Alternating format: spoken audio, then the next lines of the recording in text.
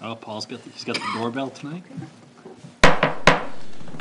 Okay, uh, good evening. This is the Wednesday, February 5th, 2020 regular town council meeting for the town of Scarborough.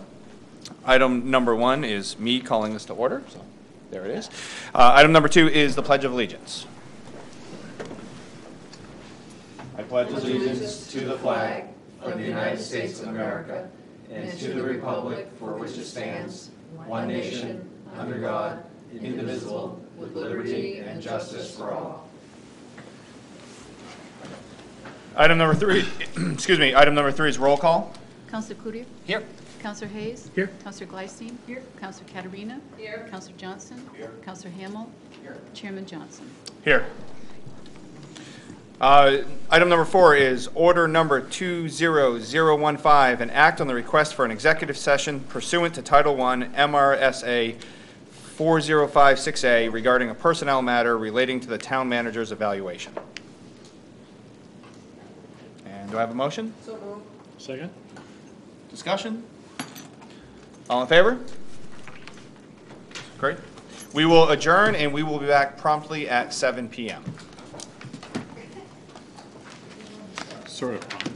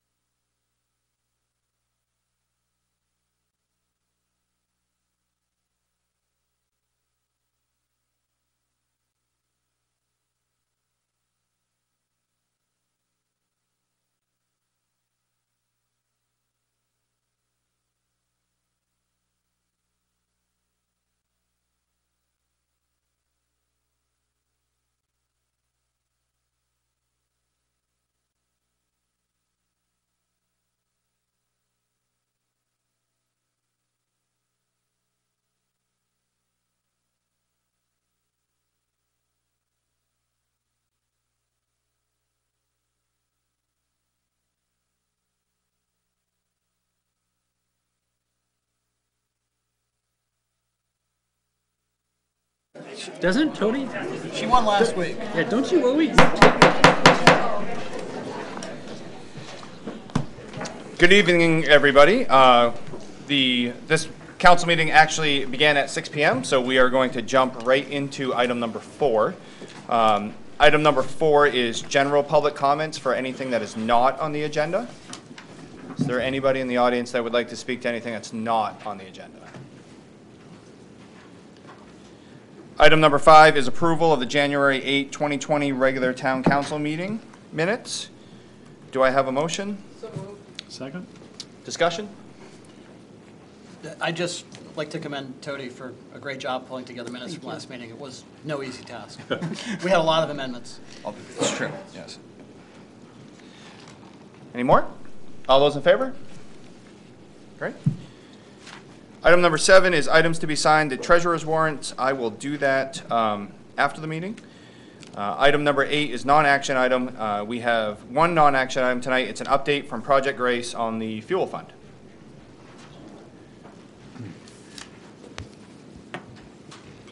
Good evening, councilors, thank, and uh, Manager Tom, staff, guests. Um, Thank you very much for the opportunity to address you briefly tonight. My name is Steffi Cox. I'm the Executive Director of Project Grace. And um, on behalf of our Board of Directors, I wanted to give you an update on the fuel fund. Uh, With a messy winter storm coming up, um, we know that no matter what Punxsutawney Phil says, it's going to be a while before we see a warm spring. Um, So the other thing we can say with certainty is that Scarborough knows how to come together for common cause. We know how to extend a helping hand, and we show up when it really counts. Our town's eighth annual Keeping Our Neighbors Warm Fuel Rally is this coming Saturday at the Oak Hill Firehouse, and this is just one of those occasions when we all show up. Uh, The fire, police, community services, and the library all pitch in to help Project Grace host this event. The clerk's office gives out clink bags, and the Lions, Kiwanis, Rotary, and other groups doing good all year round are with us on Saturday morning as well. From 10 to noon, there are activities, bake sale, raffle, um, safety demos, a number of things like that, and an uplifting performance by the State Street Jazz Band as well. And uh, we hope everybody will come out. Uh, For those who may be hearing about Project Grace for the first time, we're a neighbor helping neighbor group here in town. We've been helping with all sorts of needs for about 20 years now. And our partnership with the town on many initiatives includes uh, the hugely successful um, Community Thanksgiving Dinner, the school lunches and school backpacks and summer camp stipends, to name just a few of the ways we work together to help our neighbors. In a typical winter, Project Grace helps with fuel assistance for about 65 households here in town.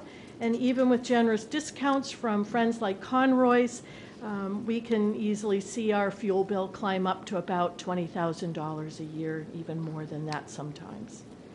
Uh, Local philanthropist Eddie Wooden has helped establish the Fuel Fund in 2008. And over the years, together, we've raised $150,000 for fuel assistance for our neighbors. That is an impressive amount of money when you think about the donations come in clink bags, they come in five or ten dollar raffle amounts, uh, modest checks from people in all neighborhoods, and uh, grants as well from uh, small family foundations. Um, about half of that $150,000 comes in during the rallies. And so Saturday is an incredibly important uh, day for us and for your neighbors, and we hope you'll help us get the word out about that. And uh, I'd like to remind everybody that uh, it really doesn't matter how low the temperatures go or what the price of oil or a cord of firewood is. We have a lot of neighbors who struggle every week, every month to pay their bills, to put food on the table, to pay for medicines, the rent, and few of them have um, have all that they need to, to pay their bills and take care of their families. Um, not too long ago, a senior told me that uh, he said, Honey, I cheated the thermostat. I put it up to 58. fif- 58. That's cold. Um, So we have folks from all walks of life.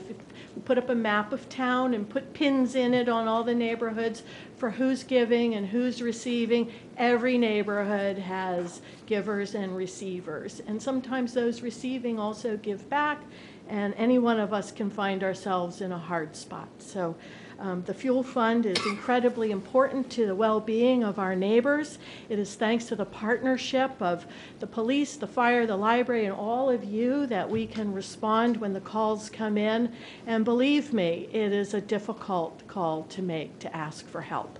And um, we're grateful to uh, be able to to thank the town for its support for the Fuel Fund. And if you have any questions, I'd be happy to answer them.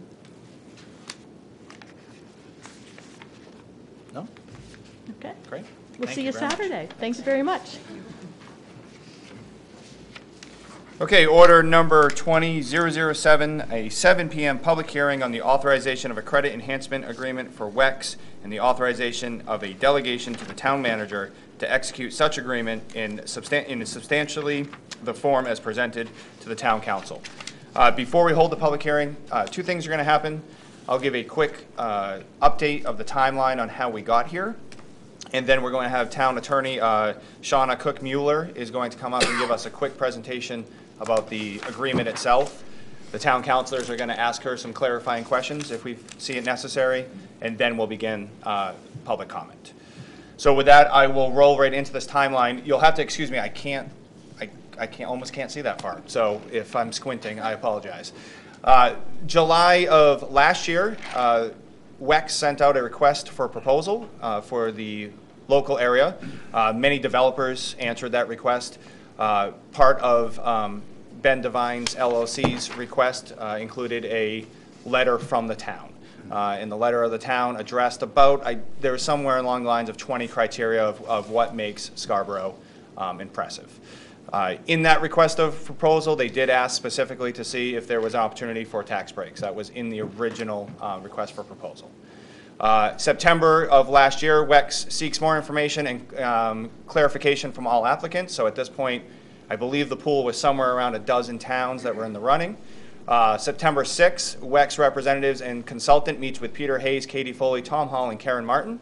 Uh, That was last, uh, last year's council chair and last year's council vice chair. Uh, November 18th, WEX Yep, I am reading that correctly. November 18th, WEX requests a meeting with Tom Hall and Karen Martin, and the sites are then narrowed down to the Downs and South Portland. Uh, November 19th, Tom Hall meets with WEX representatives i- at uh, headquarters in Portland. Uh, December 4th, council executive session to consider no- negotiating a CEA directly with WEX. Uh, I'll take a quick second and deviate from the timeline to give somebody, people background of the December 4th meeting. The purpose of the December 4th executive session uh, from me, the chair, was essentially to see if there was a temperature, yes or no, if we were willing to entertain a um, credit enhancement agreement. Uh, On December 18th, there was a council executive session to consider the CEA with WEX. So coming out of the 4th, two weeks prior, there was at least enough temperature for us to discuss if the council was willing to consider a CEA agreement. Coming out of the December uh, 18th meeting, uh, we did offer WEX our initial deal, which included a 0% CEA on the current project and a um, incentive for expansion of future projects. Uh, WEX does currently have a letter of intent to expand beyond what we're actually talking about. Um, And our first offer to WEX was no CEA on the current building, additional, uh, a CEA of some sort on expansions if they were to happen. That offer was soundly rejected by WEX. Uh, On December 20th, council chairman, myself, vice chair Don Hamill, town manager in um, Center Street Partnerships, which include Ben Devine and Rocky Risbara, we met uh, up at WEX headquarters. Uh, th- At that meeting, there was a comparison between us and South Portland. The package that we had offered um, that was rejected, was not considered. South Portland's package was roughly $320,000 more incentive than what Scarborough was offering. Um, As a result of that meeting, council chairman, myself, Don Hamill, brought back to the council to decide if we were en- willing to entertain approximately meeting them halfway. Um, So that is where the $150,000 number is coming from per year. That was, um, somebody can correct me if they disagree, but the rationale was meeting halfway between Scarborough's incentive package and South Portland's incentive package. On January 8th, uh, council executive session to further consider WEX CA guidance provided to the manager on a proposal to WEX pending public review and council approval. That's the exact date that this, that this agreement we're talking about today, that is published in the agenda packet, that's where this was formed. Um, And then on the 17th, we drafted the CEA. We have already had on the 22nd, we had a public workshop in the first reading. Uh, That brings us to today, which is February 5th. We have a public hearing. And February 19th is expected to be a second reading. Uh, There is one more date that I would like to state. Um, February 13th at 6 PM in council chambers is a community roundtable about this specific deal and WEX coming to town. Uh, It does not have a set agenda. It will not be structured. It's in the sense of come and talk to some elected officials and some staff to learn more about this deal. Um, So that brings us to where we are now. That is the timeline.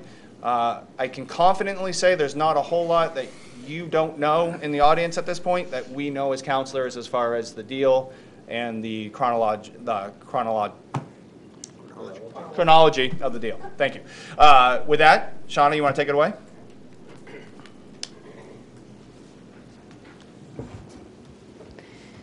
Okay, thank you very much. Um, Good evening, council. My name is Shauna Cook Mueller, for the record. I'm an attorney at Bernstein Shur, and I represent the town of Scarborough on tax increment financing matters. And I just want to begin by uh, making sure everybody remembers and recalls that a year ago, approximately, the town of Scarborough designated the Scarborough Downtown Omnibus TIF District, which is a TIF district of over 900 acres that encompasses both the Scarborough Downs property um, as well as other property in the community um, in the center of town.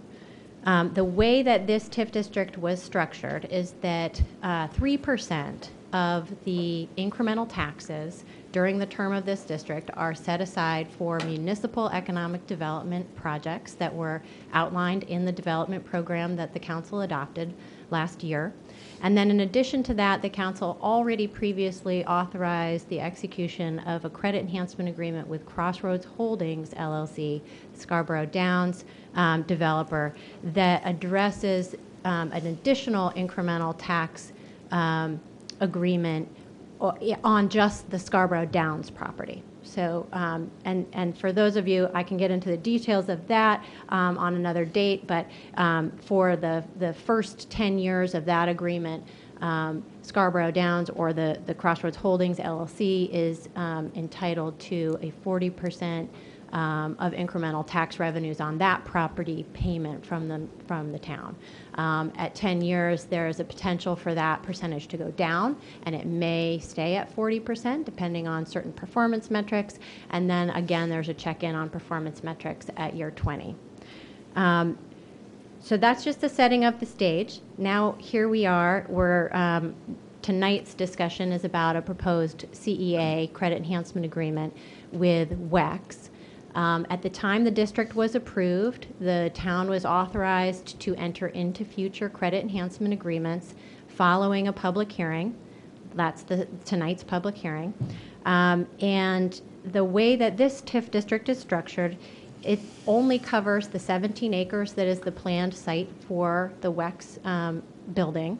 And to the extent after 3%, which is set aside for municipal TIF projects, and after 40%, or whatever future lesser percentage may apply under the Crossroads Holding CEA, then an additional amount will be captured in incremental taxes, and a payment to WEX will be made of $150,000 per year for 15 years. This will start following the tax year in which a certificate of occupancy is issued for the WEX project. Um, And that is the summary of the proposal. I'm very happy to take any questions or or elaborate. Thank you. Anybody have any clarifying questions on the council? Councilor Cloutier? So, so let's say the building's appraised at 25 million, and there isn't enough, enough tax revenue to do the 3%, the 40%, and the $150,000. Do we still owe them the $150,000? No. Um, The contract is drafted so that um, the thir- 3% needs to be set aside for the municipal project cost account, and then the 40% or whatever applies under the Crossroads Holding CEA. And then to the extent there is available incremental taxes in addition to that, they would receive that in a payment if it's less than 150,000. If it is more than 150,000, 150,000 is the payment amount for each year for the 15-year term. Thank you. Thanks. Any more? Councilor Hayes? Yeah, just, just a quick question. Um, As this, as this has sort of unfolded, there's been already some public conversations with the other parties that are involved. And some verbal representations have been made around, you know, part of it, we met halfway, the hundred and fifty thousand, the developers were gonna meet us the other halfway, the other hundred and fifty. If representations have been made verbally, do we, is there an accountability, a due diligence, a fiduciary responsibility that it's up to the council to make sure some of those things are documented? Um, If, if, if those representations are made and they're not followed through, does that create some liability for the town um, on the behalf of the taxpayers that we made decisions based on representations, but we have no documentation to support it? Um, So I think you're talking about representations that were made about the private deal between the developer and WEX? That, and there was representations made about covering traffic impact, all the traffic impact that would be caused by the development. Um, I- You know, I think to the extent that the council wants to ask for um, some additional information and confirmations, the council is free to do that. Um, The way the credit enhancement agreement is drafted, there are particular obligations that I've described, and we we are protecting ourselves to ensure we don't obligate us to to pay something that we don't have. Um, But there isn't any obligation in the credit enhancement agreement to ask for confirmations about the private deal. No, but I guess my, my bigger question was, do we have any accountability, responsibility to taxpayers that we have made verbal representations to things, if those aren't, if we haven't done due diligence to make sure that those are in fact in place, is there any recourse for taxpayers to say that somehow we didn't do what we were supposed to do to, for our fiduciary responsibility? I don't believe there is a legal obligation there. You know, what you may be talking about is, you know, voters' ability to decide that it wasn't the right choice in retrospect, or it was the right choice, and then they have the ability, of course, when they go to the polls. But, um, but the council has delegated the authority, or is, is vested with the authority to decide whether this particular credit enhancement agreement is the right deal for the town based on the information you have and you've asked for at that time. And so I, I think that's where I would come out on that. Thank you. Councilor Gleysteen? Um, So just a quick follow-up on that. So I think you're saying we have the right to see the information, but we don't have to see the information. um, But we have the right to see it, but there's not going to be a legal, legal problem if we don't see the representations that have been made, like the developer saying they're splitting the difference with us and things like that. Um, Yeah, so, so I mean, the council has the, um, and the town ha, in this negotiation has had the ability to ask for whatever you would need in order to feel comfortable that this Okay. is a deal. So that's sort of what I was, what I was intending to say. Okay, that, yeah, great. So I, um, so my question, I might have a follow-up on it depending on your answer, was, so the way I understand this, and I think you've described it well, um, so the, the, um, the underlying deal, which is kind of pinned on this, there's a- the, uh, let's call it the office complex, is going to generate a certain value, and then it's going to generate a certain tax bill. And the Downs is going to get 40% uh, back based on their underlying deal. Um, And so uh, my understanding is that that amount that they get back will not be discounted by the WEX 150K. Um, So I guess my question was, when, in their deal, I think it's pretty clear that if the town doesn't receive taxes, so let's say if Maine Health put a building in there and they're exempt by state law, like the Downs doesn't get forty percent of, you know, a reduced tax property, you know, the- I mean, of a no-tax property. So th- there were, since we're, we're not going to have access to that hundred fifty K, if this deal goes through, we're gonna give it to Wex. Um, What would it take to say that we're gonna reduce, you know, the amount that, that the underlying agreement gets by the 150K? I mean, is that, that you'd have to change the underlying agreement, or, or how would that work? Yeah, so, so I think you understand correctly how the two agreements work together, which is there is already a current obligation to make that 40% payment. And then um, if there is additional increment available, which we project, project that there certainly will be, another $150,000 per year will be owed. Um, to the extent the town wanted to try to um, you know, sort of take that 150,000 out of the 40%, we would have had to renegotiate an existing contract, um, you know, that, that the town has already entered into. Um, So, and that has not been done. Any more? Shana, thank you very much. Appreciate it. You're welcome. I, I did have one more, I'm sorry. Okay. Um, So on the TIF, the three percent, um, that, the document for the state, it spelled out pretty clearly what we could spend the three percent on. And basically, it's roads and economic development, uh, planning, and the uh, SEDCO and some things like that. Um, If, is it ever does anyone ever pay the additional CEAs out of that money? Is that ever done? Or, I mean, clearly it would take an amendment to the state to say that we wanted to do that, to, to pay the CEA out of that three percent, but is that ever done, or is that just something that's, that's never done?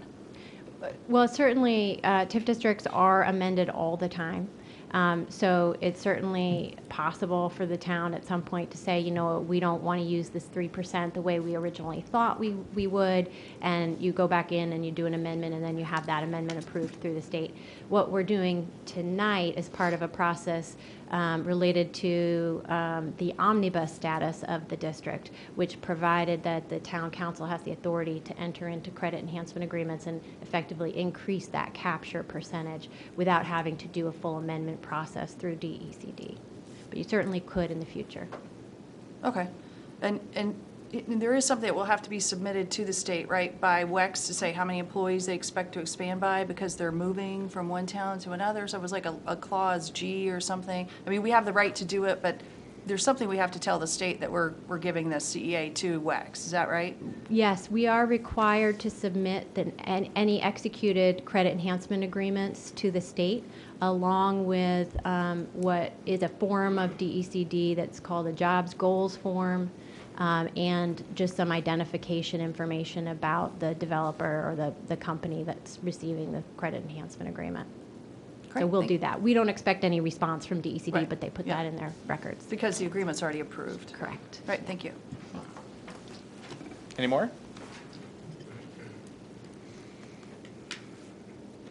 Okay, thank you.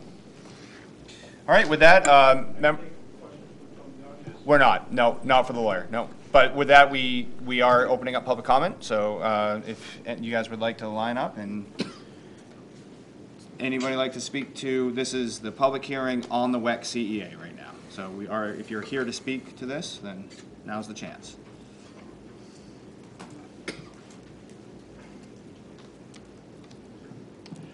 Good evening. My name's Art Dillon, 180 Black Point Road.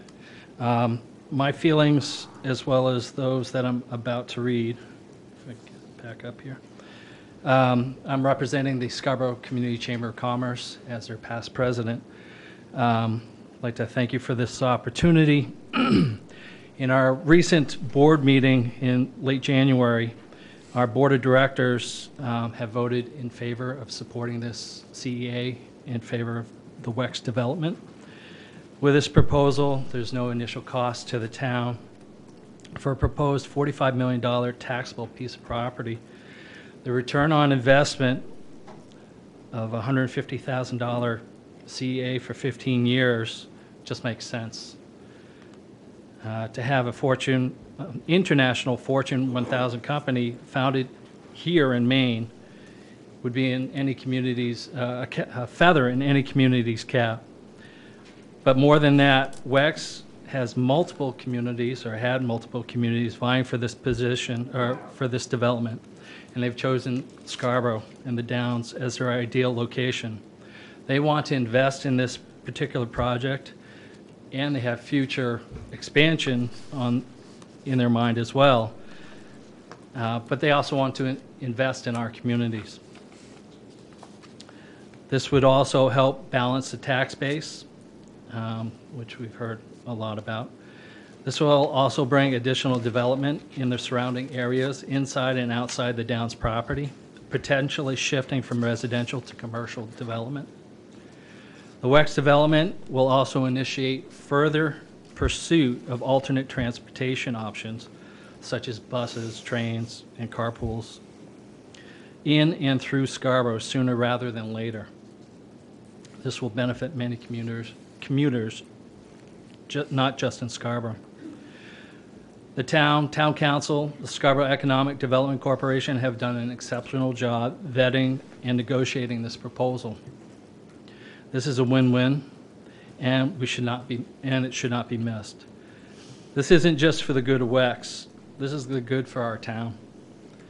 On behalf of our membership, board, and business community at large, we hope the town council will consider this to agree, to agreeing to this proposal so that we can seize this extraordinary opportunity. I thank you very much. Thank you.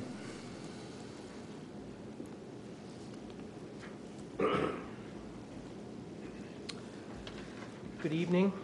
My name is John Krasnick. Uh, My address is 12 Evergreen Farms Road.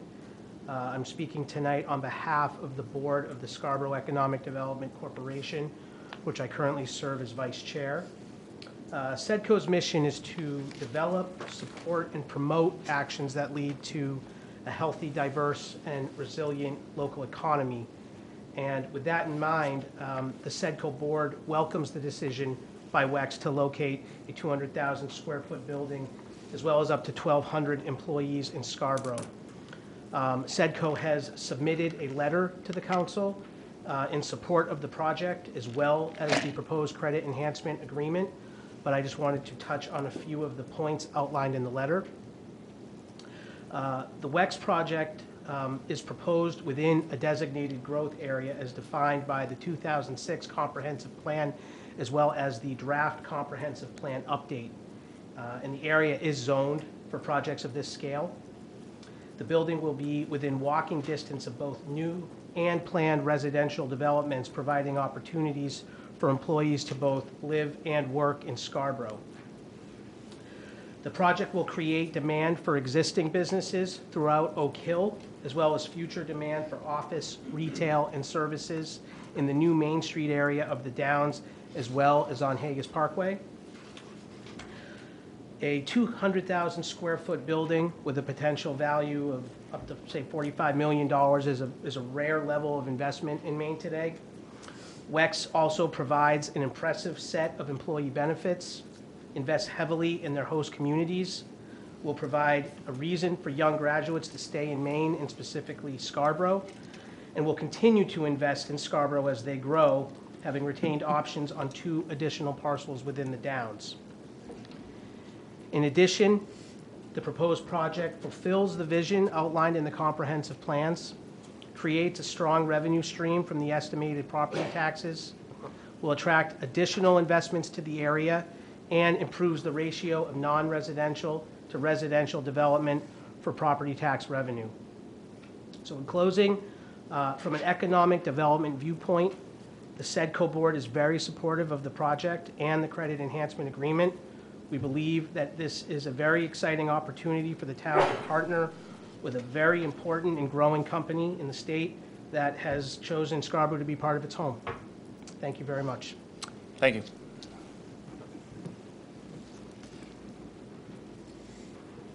Hello. Uh, Leanne Casalonis, 11 Orchard Street, and I'm here in favor of WEX. Um, You've heard a couple times already that we are a Fortune 500 company. Um, growing year over year. Huge news, given the news today about other companies starting to reduce their staff. Um, And out of full disclosure, I'm long-term uh, WEX employee, so I can speak with a little confidence on what we do do. Um, In 2019, WEX contributed over a million dollars in philanthropic dollars to the communities. 90% of those dollars stayed here in southern Maine, benefiting 150 nonprofit organizations. They touched us. They touched us a lot. Um, our employees, we logged 4,300 volunteer hours out of the volunteer time granted. Company gives us 16 hours, and 4,300 hours were logged by employees. Um, I can say that that didn't include all of my time here in Scarborough. Um, But we have a long understanding of what it takes to be part of a community. We're responsive to the community, and we give back to where we're located. With a particular focus on STEM, WEX supports educational initiatives and organizations that will help Maine build a strong pipeline of talent. Through nonprofit, nonprofit partners, um, we offer STEM space programming such as Codex, bringing middle schoolers into WEX to learn the basics of coding. We're doing that with partnership with the Boys and Girls Club of Southern Maine. Again, Scarborough students get to take part of this. They're learning how to code at an early age, inspiring them to go on to further education. We support statewide organizations such as Junior Achievement and Educate Maine, again, working directly with local schools to offer quality programs for all Maine students, again, including Scarborough students. What is WEX going to bring to Scarborough? Even after the CEA, they will be the sixth largest taxpayer in town. They will be a lead tenant, enticing other businesses to launch into Downs and on Haigis Parkway with an estimated valuation of over $160 million. Again, a benefit to Scarborough. It's a growing company. They have their eye on future expansion, as we've heard. That's going to generate even more tax revenue for the town. And specifically to our schools. The $227,000 in tax payment represents three full-time teaching positions, six full-time educational techni- technicians, and 17% of our athletic budget. This is the first step in reducing the homeowner's burden of shouldering 77% of revenue generated in Scarborough, especially as we know on the horizon we have major initiatives coming to town. This is the right move for Scarborough. It is going to rebalance us, and it's a win for everybody. Thank you. Thank you.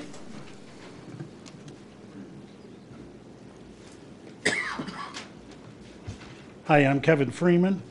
I live on uh, Sterlingwood Drive in Scarborough.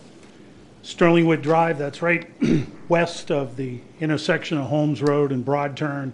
It's a big commuter road. I watch everyone from Buxton and Standish come by my house every morning. Hopefully, they stop in Scarborough. And hopefully, if we get WEX, they will definitely stop in Scarborough.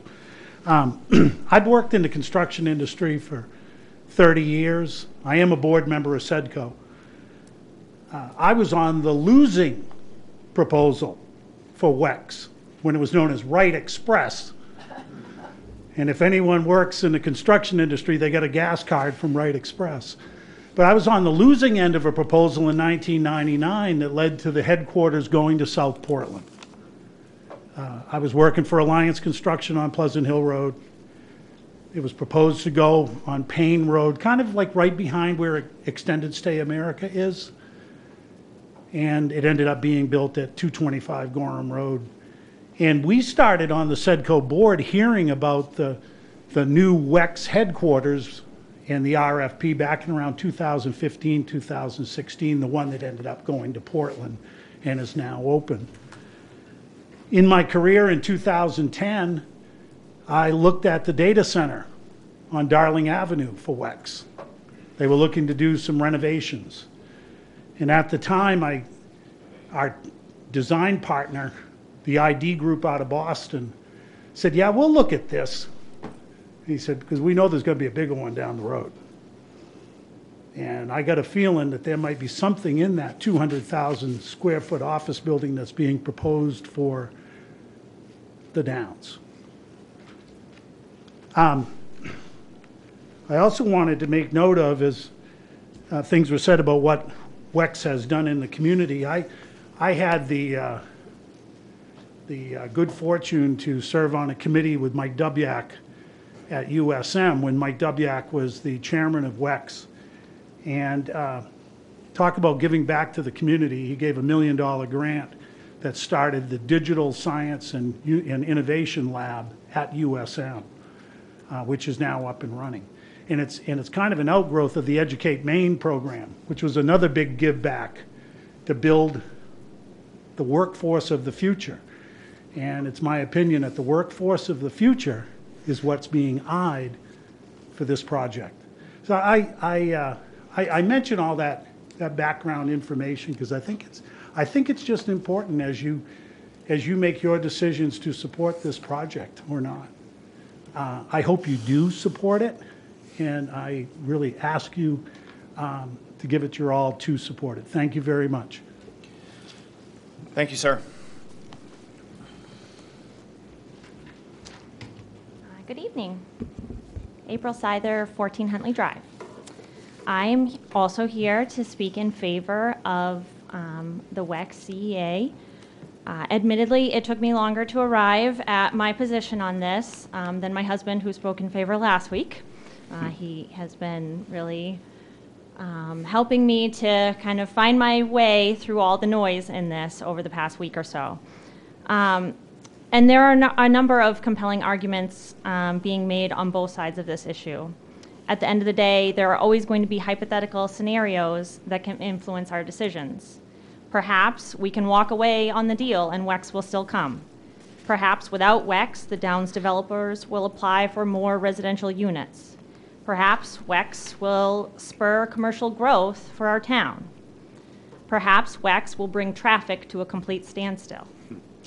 All of these potential pros and cons have their merit, but they are also hypotheticals.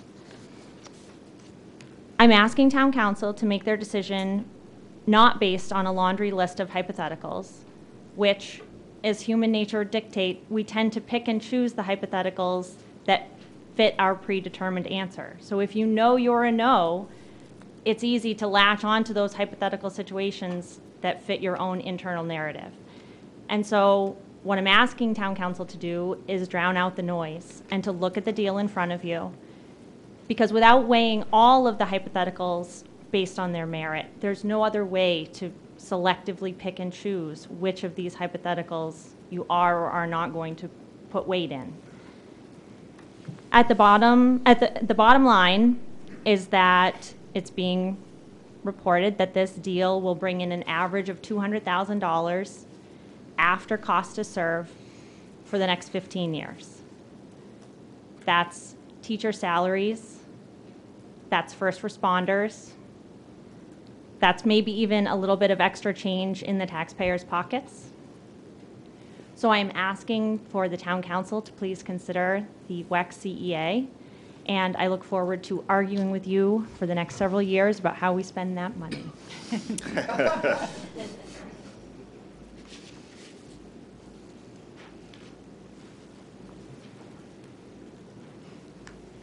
Good evening. Carol Gotro, uh, 27 Jamco Mill Road uh, in Scarborough. Um, I too have been wrestling with the, with the uh, yay or nay on the program. Um, I have a couple of questions. Uh, Relative to um, the $40,000, I'm sorry, 40% return to the developer on this particular property, if we add that to the um, $150,000 per year, what is that total number per year?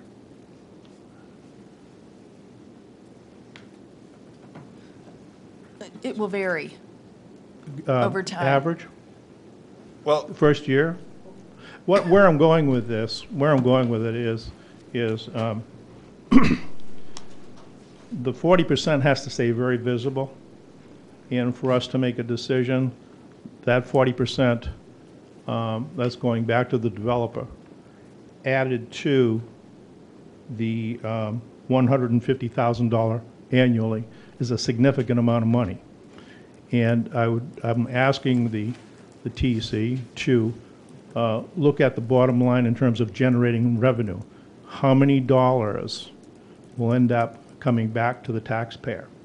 If that goes negative, I would have to say no. Um, And so to that, I would like to see a number, a total number of the $150,000 plus the 40% going back to the developer.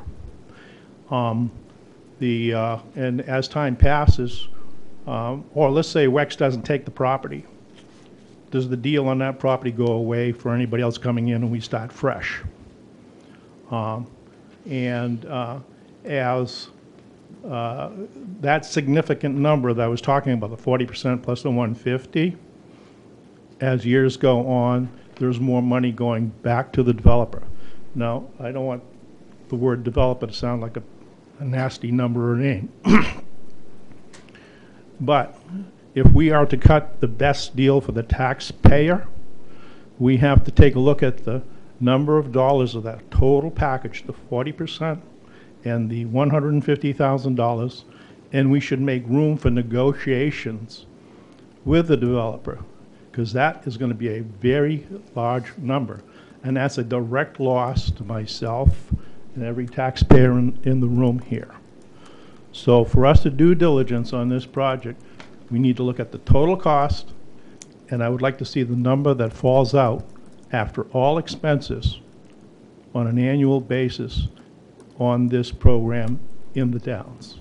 It's approximately two hundred thousand dollars, but I will, a year after all cost to serve and after everything you just cited.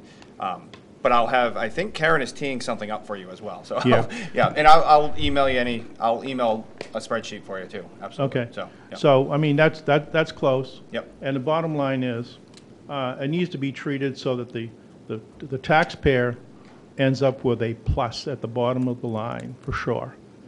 Okay? And also, as new developments or opportunities come into town, and I'm running over my three minutes, I guess, um, I think everybody should treat, be treated on the same fair process and formula. I think there should be a qualification for any company, whether it's a WEX or a guy bringing in a filling station. Everybody should be treated the same because before too long, our, uh, there are going to be businesses coming in and say, hey, how about me? So-and-so got such and such. Okay? I think we have to make that scenario go away. For us to do our job going forward as a town, and we're going to be here for the next hundred or so years, I hope we put a process, step-by-step process for qualifying a potential, okay? And a formula that will show the bottom line that the taxpayer can look at and say, okay, we should get a benefit here. Maybe our taxes aren't going to go up 3% this year. Maybe they're going to go up a percent and a half. So that's my message, and at this point, I can't say yea or nay because I'm not too sure how this is all going to shake out until we, as a town, have a process for qualifying people. Thank you. Are there any others?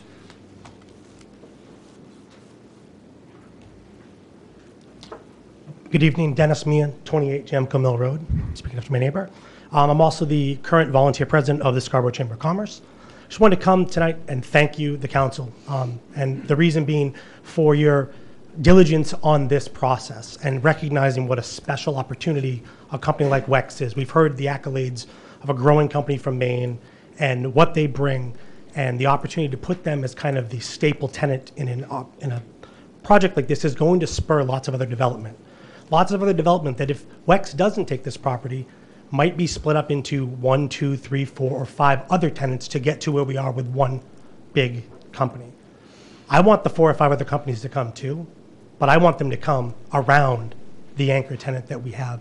And the proposal that you put together, you know, and going forward one proposal and then meeting with them and hearing what other people are offering and then coming to a spot in the middle that protects the citizens, protects the taxpayers, but also recognizes the opportunity to get a company that is growing internationally and wants to continue to grow and they want to do it here is, is an amazing thing. And I know it's hard to come to when you've got people talking about all different sorts of tax pressures on one side and screaming corporate welfare on another, but also knowing that your opportunity as a town, this is the tool that you have to attract businesses to come in certain ways.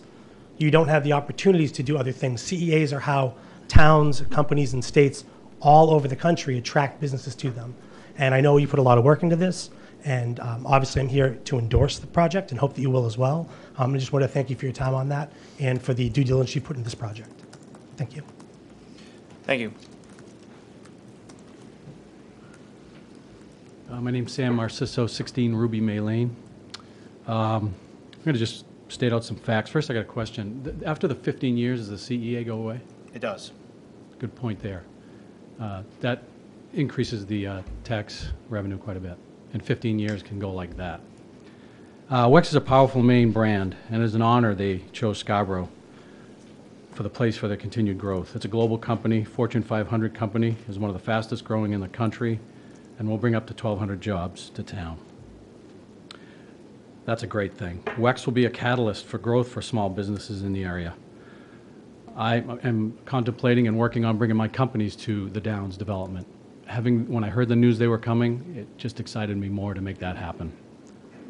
Um, A big thing and a big part that really is important is Wex will help fix the mix of the 77% residential and 23% commercial tax base, uh, which requires most of the services is the residential tax base. These guys don't require as much. That's a win.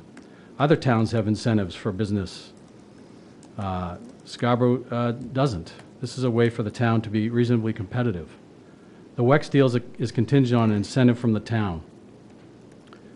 I support the WEX CEA. I ask you, please, take advantage of this wonderful opportunity we have in front of us. Thank you.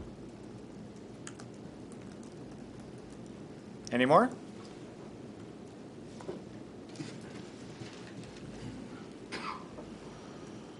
Uh, Good evening. My name is Rick Cheney. I live, I live at 9 Hampton Circle here in town.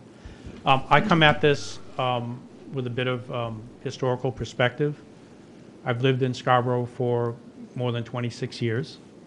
Uh, I've had the pleasure of serving on a number of bodies, including the Planning Board, uh, the 2006 Comprehensive Plan uh, Committee, which I co-chaired with Sylvia Most. I'm currently serving on the Long Range Planning Committee, and we're working on the new comprehensive plan, or the update of the comprehensive plan. I served on the Growth and Services Committee uh, years ago with Bill Andreessen, and we um, worked hard to come up with uh, numbers that supported uh, how the town should grow. Um, All those are committees, thank God I don't have to get votes to get on, but um, it's been, it's been a, a a pleasure to serve on them. One of the underlying themes in the Growth and Services Committee was the importance of commercial development for town versus residential. Residential brings children, it brings pressure on our school system. Um, It's good to have a mix, but we, in the Growth and Services Report, pointed to the importance of raising the ratio of commercial development to residential development now we have an opportunity to bring in a world-class company. The state of Maine is fortunate that WEX is here, and Scarborough is fortunate that WEX wants to come here. I think the issue before you is pretty straightforward. We're talking about a, a, a modest investment by the town, and really, it's not really an investment because it only gets paid if the taxes are generated, as Attorney Cook Mueller has explained. I think it's, it's um, a very important opportunity for the town. Um, I think the investment is worth it.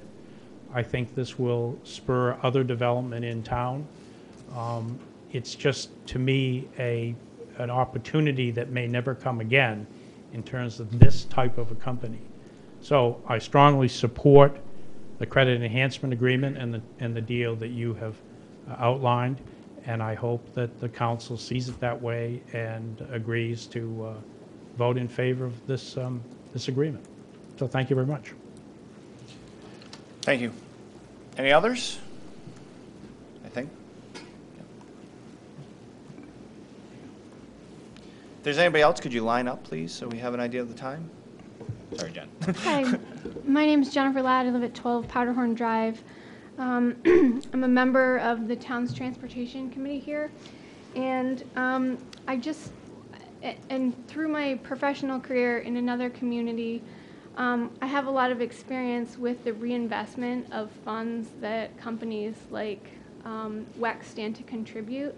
So things like, um, you know, roadway improvements, sidewalk improvements, signal upgrades, things like that, that, um, you know, these are improvements that are required over time, but sometimes it's long after the, you know, the big splash of, an, of, of someone new coming to town.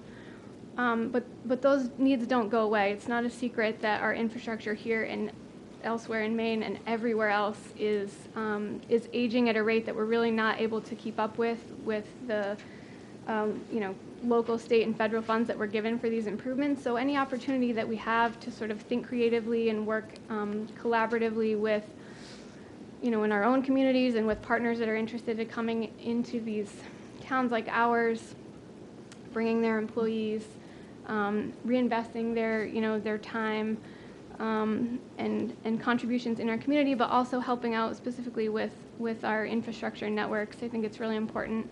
Um, and you know, uh, uh, I just would echo a number of comments made previously by other folks here about things like the opportunity that this investment would bring for things like um, advancing sustainable and alternative transportation methods that we just we really don't have a strong bus network for example um, in scarborough. It's here but it's not you know it's not widely used and uh, a large anchoring corporate partner like WEX could you know could be sort of a catalyst for that and that would stand to benefit not only their employees but a lot of other people as well. Um, and you know again attracting uh, the other sort of subsidiary businesses that would would definitely come here as a result of um, of a larger tenant like this I think um, I think are attractive. So I don't envy um, the work that you've had to do to get this far but uh, as a resident here I'm, I appreciate that and I hope that um, I hope that this conversation continues and uh, we're able to, to continue to attract good corporate partners like this here. So thanks. Thank you. Any others? Any others? Thanks, Council. Council. Uh, Katie Foley, 7 Acorn Lane. Um, So I have no intention of uh, speaking here and staying even for the rest of the council meeting this evening, but I missed you all so much, so. um, You know, when I think back to my time on the council and, and some of the tough decisions that came before us, um, none being more difficult than the vote on the Downs itself. Um, That was by far and away the, the most difficult personal vote I had to take. And, um, but when I did that and I, and I took that vote, I, it was the big picture I was looking at. It was like, what is the, the net, what's going to happen tomorrow or three years or five years? I was looking at 15, 20, or 30 years down the road. Um, and for me, when I think about that part of that vote, it was because of something like this opportunity. And uh, I think sometimes it's easy to get lost in the um, piece of, well, I didn't want this to happen anyway. I didn't want, the, you know, the, let's just face it. Let's, I don't know if you guys have talked about this, but the elephant in the room is that if this council were voting on that same project today, it, it may not have happened at all. But here we are. So why not give the developers and this opportunity every chance it has to hit the grand slam that we were hoping for? Because I can tell you that that's what my vote was for. I didn't want them to get to first base or second base. I wanted them to hit all of those goals. And when they hit all of those goals, the whole town is going to benefit, um, big picture. So um, I think there's been very good points made on all sides, and there's, there's certainly, this is not a cut and dry no-brainer. Um, but I would encourage you to support this because I do think it's the best way for us to maximize the full project. So, good luck. Thank you. Any more? No? Okay. With that, I will close public comment. Oh, Peter? Just, uh, we talked about reading in. Oh, I'm sorry. Yeah, you're absolutely correct. There's one, there was one email that requested to be read into the public record, so. The individual wasn't available to be here tonight. It is Brian Canode at 6 Old Colony Lane, and he just asked this to be read into the public record. Um, And I'm going to read it verbatim. It is time to let the Downs project stand on its own two feet council meeting after council meeting, the Downs developers and some town councilors, chances that there would be no risk to the town if we gave eighty-one million dollar tax break. This public-private partnership tax break was supposed to help ensure success of the Downs project, yet here we are again giving another tax break to another wealthy developer, a new CEA for two point, thank you. 2.25 million for a new WEX building on the Downs property. Who's next in line for a tax break? The planned Edge Sports Facility, the planned hotel, the planned supermarket. We need to stop the corporate welfare, let the Downs developers use the existing 81 million tax break to entice new businesses.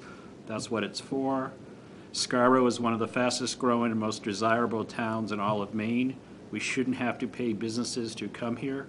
They should be willing to pay, they should be paying us.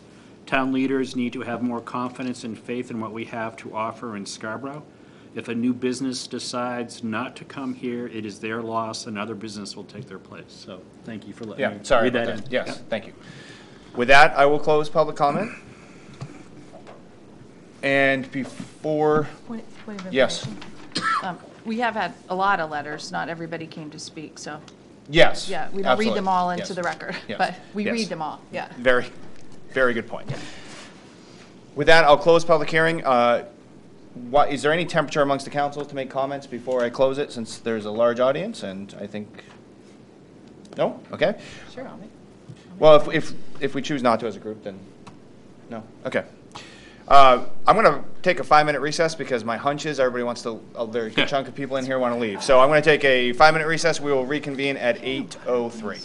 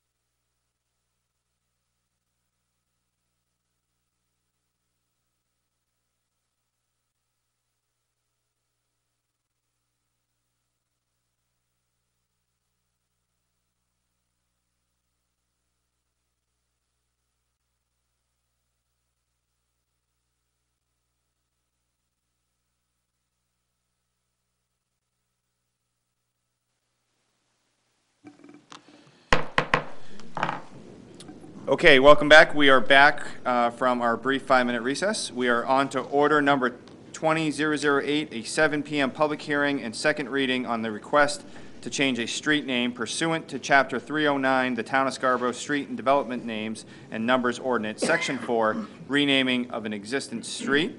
And I believe Councilor is going to offer up a motion. I'd like to make a motion uh, that this be postponed uh, indefinitely, And is there- tabled indefinitely. Is there a second? Second? Discussion? No discussion. There's no discussion. All those in favor?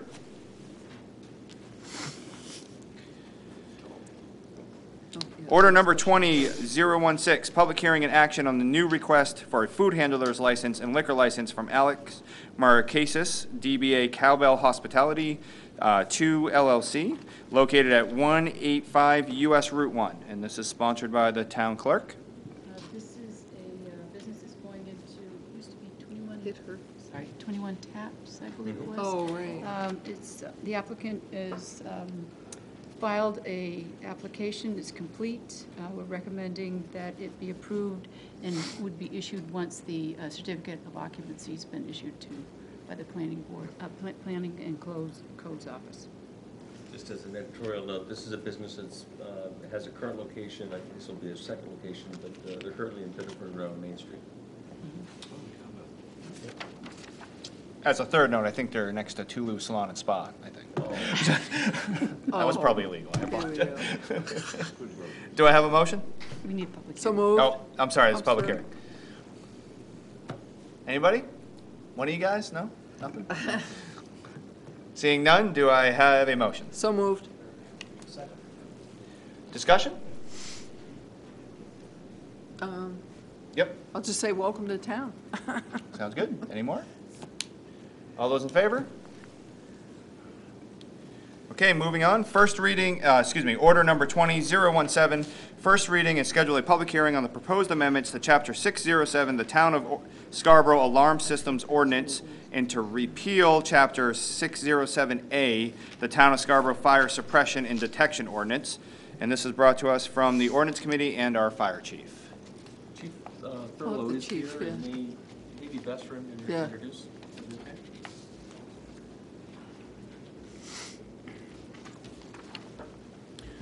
Good evening. As I explained to the ordinance committee when we uh, met with them, this really is, uh, does a couple of different things. It cleans up two ordinances and combines them into one, and it is really driven by the fact that as part of the public safety building uh, process for the new facility, we needed to make a decision about our old legacy municipal fire alarm system. We've had a uh, hardwired copper wire on the telephone pole system for over 50 years now that has served us very well. Um, But when it came time to look at the design of the new building, there was a significant expense to move that infrastructure from there to here. And also the, the ongoing expense of maintaining a hardwired system versus modern technology that is based on radio mesh uh, technology. So during the design phase of the building, uh, the committee looked at it and we decided that it really was time to replace our old system. So a lot of the language in here um, deals with that specific new system. Uh, We use the, the fire alarm system covers all of the municipal buildings and many of the school buildings. Uh, The sanitary district is on it. But we also, for years, have allowed private businesses that were in the vicinity where those wires ran to jump onto our system as well at no cost over the years because the system was there and it was sending the signal into dispatch anyway. With this new system now, um, It is still going to be a direct connection to dispatch. Uh, It is a much more modern and easier to maintain and less expensive to maintain system. Uh, And we think that um, now it opens it up to pretty much any business in town can jump onto the system because you don't have to be on a road where that wire runs by your front door. So we're, we're, uh, the language in here uh, takes care of compliance and the, the language necessary for the new system, and it also combines those two ordinances together. With that, I'm certainly happy to answer any questions. Council Gleysteen? Is there financial impact to There is, uh, it isn't necessarily in the ordinance, but as part of the request, I have asked the clerk um, to add uh, fees into the fee schedule, because that's where those are kept during the budget process. Um, What we are, what we have done historically is dispatch has always monitored that system at no charge to any of the users. Because there are software um, service agreements and maintenance agreements for the equipment, we are asking for a nominal fee that is in line or actually a little less expensive than monitoring through a private uh, company. And those fees are $500 per year uh, to monitor for either fire or burglary. If you wanted to monitor for both, it would be $750 a year and a one-time initial permitting and commissioning fee because it's a, it's a piece of hardware that you have to attach to your fire alarm system, and then folks from public safety have to program that into our system, and there is a commissioning process, so that fee covers the cost of the fire inspector actually going out and uh, testing the system, and the hardware and the back office work to get it into our system so that everything works well. Okay, so just a follow-up to that. So in terms of all the changes, is there any, do you expect any net impact cost to the town? Increased or decreased or? We think over time, we probably will generate more revenue as the system starts to build out and more businesses are interested in going this way. We think probably the revenues will exceed the expenses. In the budget that I'm working with the police chief on now for this next fiscal year, we're going to budget a, a net neutral uh, amount just based on where we are with the number of subscribers that I'm comfortable predicting revenues from uh, and the annual expense for that software and upkeep of the system. So there won't be any additional revenues in this next fiscal year, but I think as the system grows, there probably will be some. Yep. Councilor Cloutier? Uh, Yeah, so I'm just really interested in this. I, uh, I have a motel and we have a monitoring system. Are you kind of cutting out the middleman with, with this new technology? It does. It- Okay. And what we've told the folks on our existing system is you don't have to come with us. You certainly can continue, uh, or can change and have a third party, uh, hire one of the third-party me- folks to monitor for you, but this is another option for you. And one of the, the, some of the language in the ordinance, actually, there are some occupancies, some of the high hazard occupancies that we are requiring to monitor through this. So the schools, for instance, they're already taken care of, but there are a list of other um, high hazard occupancies where we just don't want that additional delay. And this was monitored, this was, uh, not monitored, modeled after the city of South, of Portland and some other um, communities that were doing something similar, so that dispatch was actually getting those signals within seconds, rather than waiting for the signal to go to a third-party system, having an operator from out of state or out of the country calling, saying, you know, this is what's going on at the building across the street. So kind of a crazy follow-up. My, uh, my business is in Old Orchard. We share dispatch. Uh, Is there opportunity for businesses in Old Orchard to hop onto this system? There, there likely will be going forward, yes. Yep. Good to know. Councilor Question. Johnson? Chief, uh, what's the number of subscribers we have now? Do you know? Commercial, commercial side?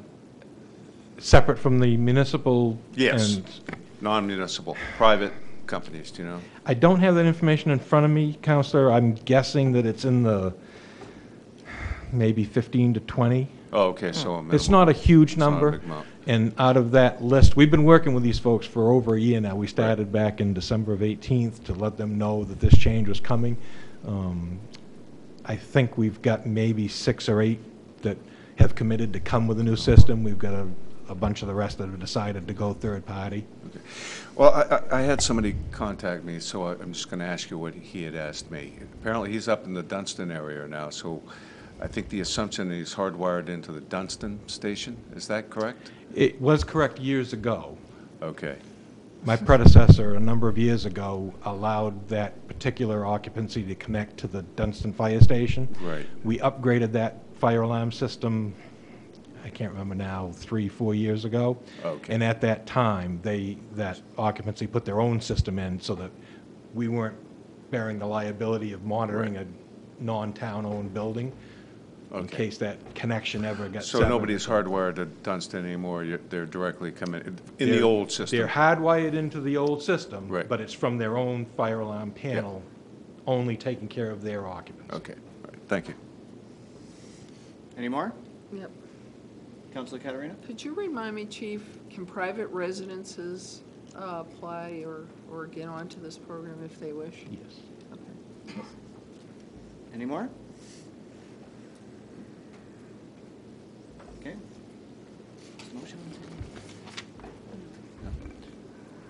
Do I have a motion?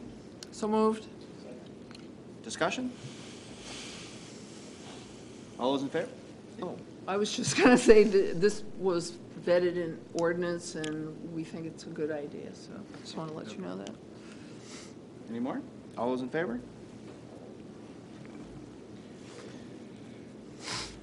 Thank you. Uh, Order number 20018, first reading and schedule a public hearing on the proposed amendments to Chapter 303, the Scarborough Personnel Ordinance. And this is brought to us from the Ordinance Committee and Human Resources. And I assume Mr. Gallagher will tee this up for us? If you would.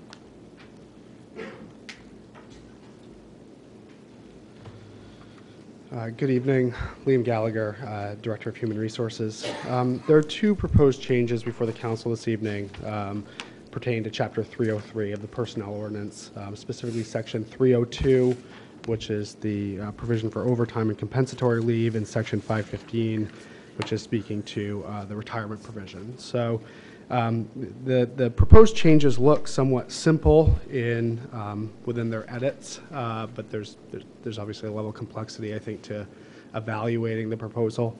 Um, So I'll try to go do a high-level overview of what we're talking about, the concept behind it. Um, uh, There's been a request out of ordinance committee for some uh, financial analysis to give a better idea what the impact could be, um, and then answer any questions that the council has. So um, the first uh, change to section 302, um, again, seems very simplistic. It's essentially to replace uh, compensatory leave for holiday leave for the purposes of calculating overtime. So this whole formula around uh, hours worked in terms of a work week, um, you know, essentially our, our uh, ordinance speaks to beyond just purely hours worked, what counts as hours worked for the purposes of hitting that 40-hour threshold. Uh, So as it stands now, all other accruals are factored into that, that calculation except for holiday time. Um, The thing that's a bit unique about that uh, is that holiday time is really the only time off that we don't really give employees the option to take or not. Um, So, you know, we have a week, a work week where there's a holiday on a Monday, um, we tell everyone to stay home, um, and then generally the concept around overtime is we are, we are asking uh, or burdening an employee to work over and above their regular schedule. Um, So I attempted to provide uh, one illustrative example in my memorandum to this concept and why we think it's, it's problematic and, and um, unfair on some level. Um, It's something that, in, in my experience, uh, I've, I've never seen holiday time as a, as an accrual that doesn't count for this calculation. Um, I've seen lots of policies and contracts that exclude, you know, sick leave or compensatory leave or, or other forms, but never holiday, um, because that is one that's scheduled for time off. Um, So that's, uh, you know, in terms of why removing compensatory leave, I've, I've provided an example of why I think that's problematic to include it, this idea of being able to pyramid your time off. Um, For those who are unfamiliar with uh, public sector uh, wage and hour laws, uh, one unique component for public sector employers is that they, they do allow employees to uh, earn time off in lieu of overtime pay. So they work, you know, 42 hours in a work week, rather than taking two hours of overtime, they can get three hours of comp time, put it on the books.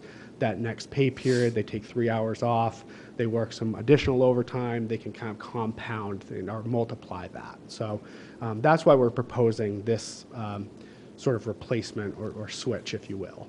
Um, so that's the, the high level. I'm not sure if the council would like me to talk about uh, sort of a modeled fiscal impact around this provision before I move on to the next change, or, or whether, like I said, defer to the chair or, or Councilor Hamill. Uh, I've had the opportunity to uh, go through this with Liam in some detail and have shared some of the information with, uh, with the chair. Uh, You know, the, the costs are, are nominal for this. Uh, I've also consulted uh, Mike Shaw, you know, his group would be one of the largest groups affected potentially. And so, you know, the impact's are somewhere around, you know, uh, we estimate $5,000 in terms of the swap. You have to evaluate the cost of the new way to calculate it with an offset of people, you know, how, how often they're going to choose to take the compensatory time instead. So the, so I would say this is a, it's a minimal expense, and, um, you know, Mike, uh, Mike Shaw supports it uh, as well. So we felt that this was uh, a reasonable request. The- The big point about this is that it is a, a parity issue for non-bargaining unit staff, uh, in addition to being somewhat of an employee recognition matter. So that's an important feature for us as well. So I I just thought I'd add those points. uh, Yeah, great points, and, and that was a piece that I, that I overlooked in my introduction, that um, looking at the three other, we really have four major employee groups in town. We have a, a large group of non-bargaining employees for which this ordinance sort of speaks to the terms and conditions of employment, and we have three collectively bargained uh, units. And in all of those contracts, um, holiday time is regarded as hours worked for the purposes of overtime. So this is really an, an equity component to it as well. Uh, Why don't I move on to um, the second proposed change before the council? Um, To give some background on, on this, um, you know, this was not a, a change that came to us. This is the result of a, uh, a legislative uh, policy or rule change at the Maine public employees retirement system level. Um, Essentially, what it states is uh, that if, if a uh, public, a participating local district, which are municipal employers, employs someone who is uh, defined as a retiree returned to work by the Maine PERS system. So this is someone who um, has retired from another PLD employer, or, or in fact, the PLD employer that's reemploying them, um, and is actively collecting a benefit from the system. Then the employer is obli- obligated to remit a 5%, what they call a UAL or unfunded actuarial liability payment to the system. It's essentially a penalty. Um, the retiree receives no benefit from that. That's not adding to their service. It's not adding to their to their income. Essentially, uh, the, background to this was, uh, you know, as most pension systems, again, you know, if you you don't have to to read too far in terms of uh, government budget news, but most pension systems have a challenge of staying uh, adequately funded.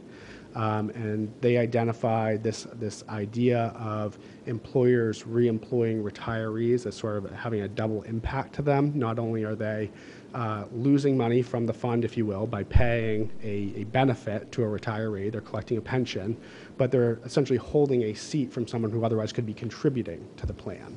Um, so they saw this as the remedy uh, to, to solve some of that um, sort of drain on the, on the system. So, um, you know, by, by Maine public employees retirement system, there's, a, there's an incredible amount of flexibility uh, at the local level with how to handle this. Uh, they essentially say, as long as we get our 5%, who funds that, whether that's the employee or the retiree in this case, or the employer, doesn't much matter to us. Um, However, I, this is being brought forward at the council level so that we can have consistency across how we're going to address this issue. Um, you know, the other uh, factor here, and, and as proposed, what we would say is that uh, if you meet this definition of a retiree return to work, then you become ineligible for our 401A plan. However, we will pay this 5% on your behalf. Um, sort of the, the thought process or the, the hypothesis behind this change is that if you have someone who's actively collecting a pension, perhaps you know saving for a secondary retirement is not as um, as important to them as possibly receiving a, a paycheck at the time. Um, and you know this idea that they're going to pay a five percent on their own, uh, deducted from their wages, for which they see no benefit, on top of you know a six percent contribution to a, a retirement plan with a vesting schedule, just doesn't seem as as practical or pragmatic uh, for me. So. Um, that's sort of the concept behind this proposal. Um, you know, in terms of the fiscal impact, uh, by eliminating their opportunity to participate in the 401a plan, which is a one-to-one match at 6%, we essentially have a 1% realized savings overall, or at least uh, potential exposure to that liability. So I'm happy to answer any questions regarding that change. Councilor Caterina? Uh, Just for clarification Please. for the public, a- and I'm sorry if you said it, I got distracted for a second there. How many people is this affecting right now? Yeah, so we have about 100 non-union full-time employees. Um, and in terms of actually Uh, the this provision, retirement, the uh, we have one person who Yeah. meets this definition of a retiree return to work. Yep. Thank you. Okay. Any questions? Thanks. Thank you. Is there a motion on the table? Uh, Move approval? Second. Discussion? Um, This came out of, or- I'm sorry, this came out of ordinance. We looked at it and asked our various questions, whatever, and we felt that these were fine. These were good changes, so. So I just had one suggestion. uh, In the future, I think it would be helpful if we do these as separate um, orders. So, I mean, they, I know we put them together because they were personal ordinance changes, but nah, they're different enough that I think it might be more uh, efficient in our discussion and easier to keep some of the technical issues and questions separate. So just a small request procedurally, but I'm in favor of both of these. Yeah, I think I'll just say, uh, Councilor Hamill, thank you. I, you did, a I don't know if everybody saw it, but you did do some extra legwork just to get a- an idea of the costs. And I- I believe you forwarded that to everybody. did. So Yeah. I do appreciate you answering that question before it gets brought here to help Thank us you. make this. I just might add that my learning curve is still steep as. I become accustomed to the public sector. Yeah, yeah. So- With that, all those in favor? All right. Order number 20019, act on the request for, excuse me, from the police chief to accept the following two grants given by the state of Maine. First grant is to subsidize, for substance use disorder in the amount of $457,928. And the second on, would de, and the second would deal with domestic violence and human, human trafficking in the amount of $41,590. Combined total of 44, excuse me, $499,518. And Chief Moulton, would you like to tee this up for us?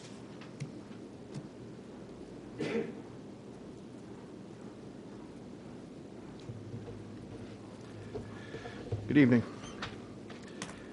Um, A while back, we, there was uh, an introduction from the state uh, that they were looking uh, for proposals for approximately $750,000 of grant money that they had available for uh, substance use uh, disorder related programs.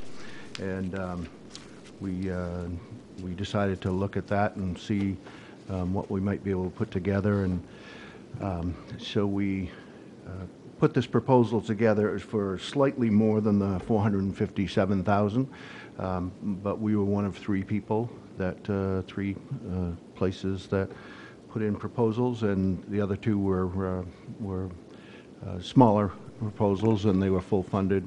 And um, so uh, when it came to ours, they, they liked the program. They uh, cut us back about $12,000, and, um, it- and so the, I think you have the memo before you, but the, uh, the proposal uh, or the grant basically will allow us to um, carry forward with what we're doing now with uh, uh, providing people with treatment and, and travel and so forth. Um, One of the things that we are going to do is open up a little because over time we've come to realize that the real villain here is, is the addiction, is the substance use disorder, the, the disease, not necessarily a particular substance. Yeah, Clearly, we started this because heroin was such an issue and people were dying um, rapidly. Um, But there are many other substances that folks have come in looking for help that we have, um, to this point, turned away. And because we weren't sure where where we are operating on grants and donations, we weren't sure we would have the money to support uh, going, open it up anymore. Um, With this, uh, with this grant, we will uh, slowly start to, to do that and try to assist other people that are struggling. Um, So that's what part of the money is for.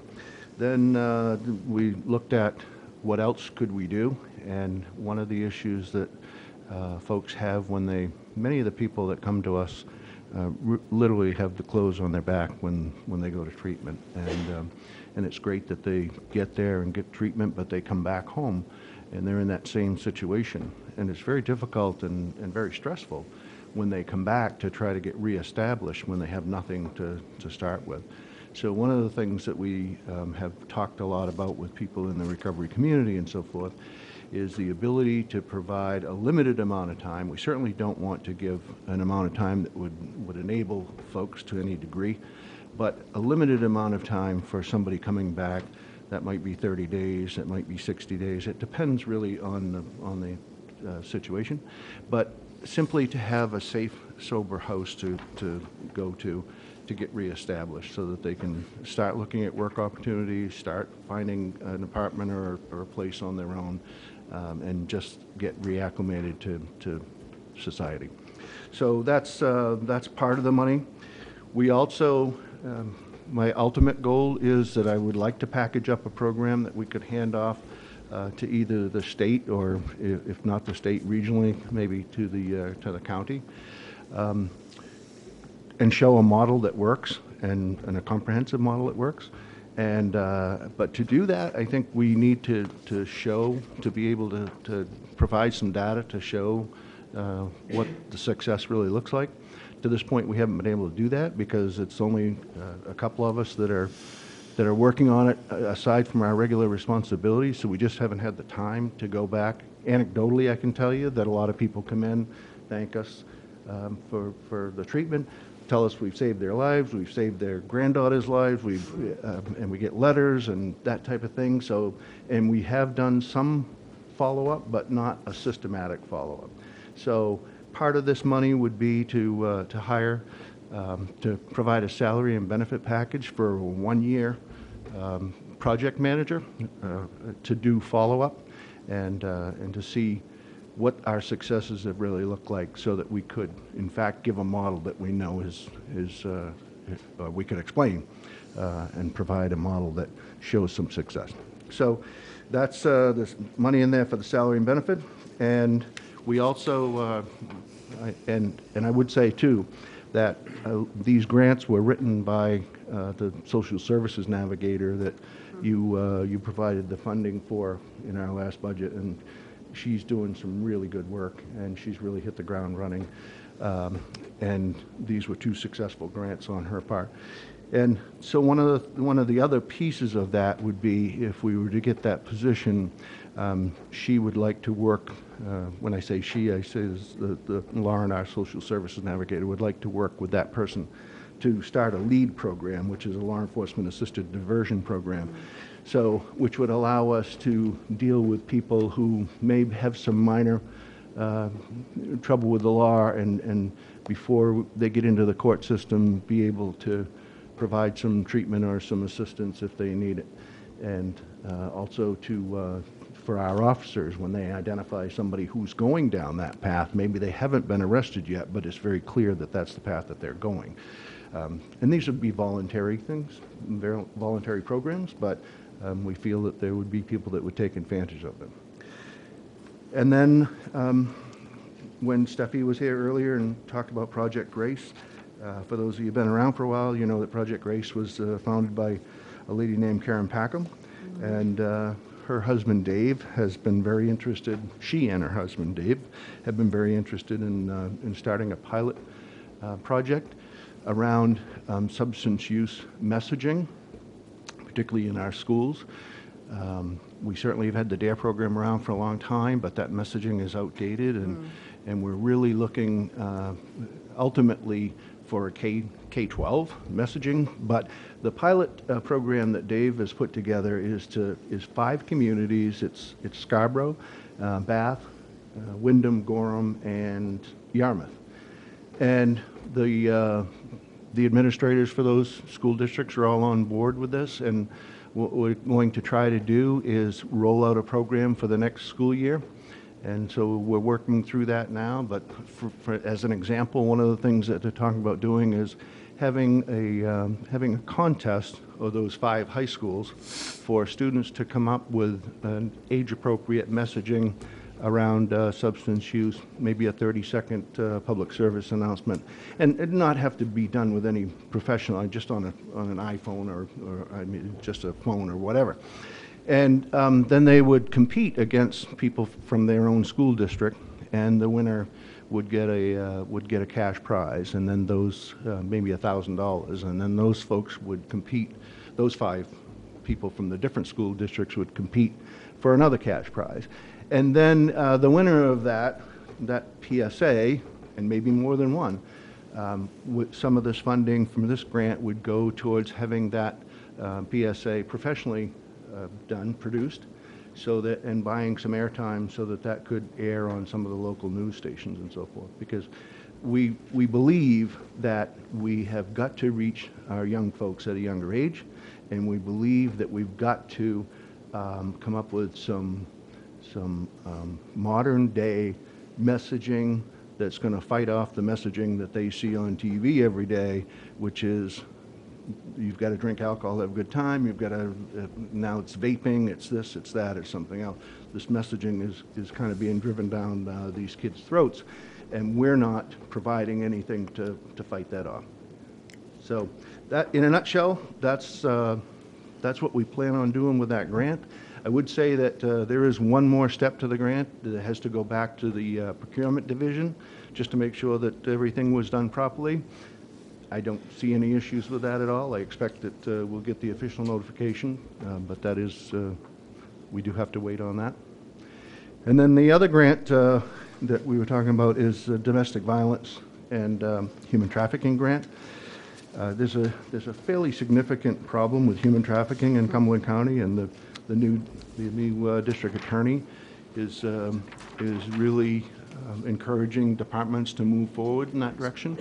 And so that grant money, the uh, 41,000, would be for overtime for our special enforcement folks to be able to uh, do those types of details, and also uh, for officers who have to go do follow-up uh, domestic violence uh, follow-up visits um, with our social services navigator. They would do that rather than take somebody off the road that we're counting on for patrol. We could do that as, a, as an overtime detail. And both of these grants are reimbursable grants, so we would be obligated to spend the money and then, uh, and then be reimbursed for it. Questions? Yes, Chief, I had a question for you. Um, Sure. um, On the, uh, and- and, you know, thanks for locating these grants and going through all the work to, to obtain this money. One of them uh, is for a one-year salary, this, this one, that's the $70,000 one, is that right? Correct. So what's the expectation after the end of the grant? Would that be an assumption that we would have a full-time position or somehow have to fund that, or what would we do?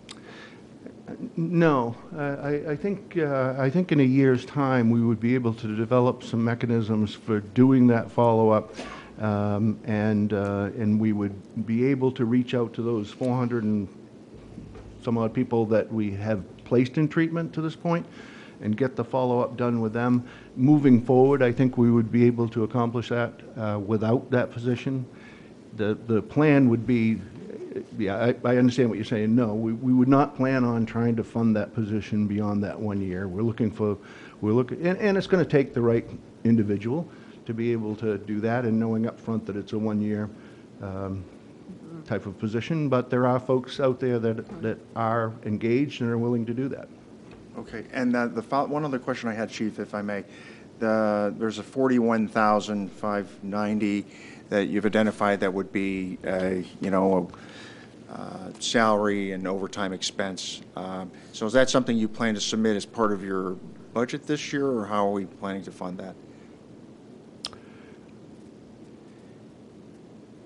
Yeah, I mean, if, if, when we get the official notification of this, that's something that we would, we have grant accounts now that we run, so we would be looking for something net uh, uh, um, neutral. So we would be putting in expenses that would go with that and offsetting that with, because this is new overtime, this is not overtime that we're I understand. expending now. We're using regular patrol officers to do that, but this is an opportunity to have that funded so that we can keep people on the road and still accomplish those tasks. And arguably, these costs would not be incurred but for grant support. I see. You would be doing additional. I understand. Details.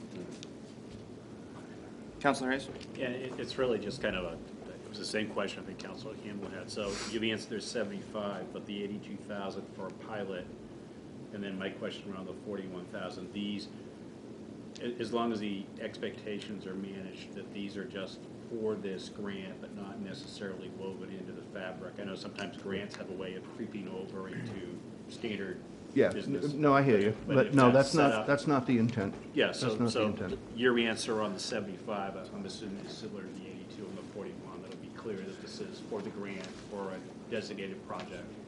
Yeah, we're, we're hoping that we can get that uh, pilot project rolled out there and, and get, buy some airtime and do those kind of things and get some messaging rolling and, and uh, then we'll have done our work. Great, thank you. Can the, can the seventy-five-six be a a one-year contract, or, I mean, does it have to be a salary and benefit position, or it?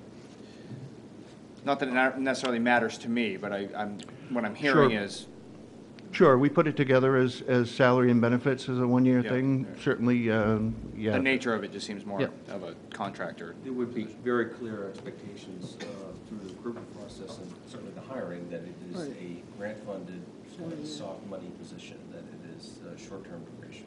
Right. Councilor Cloutier? So I, I think it's fantastic that you're getting grants to do all of this work. To, to some extent, it seems like it, it, it's a part of our responsibility as a town to take care of some of this stuff. So I understand it's a pilot program and that it's going to be funded through the grants today.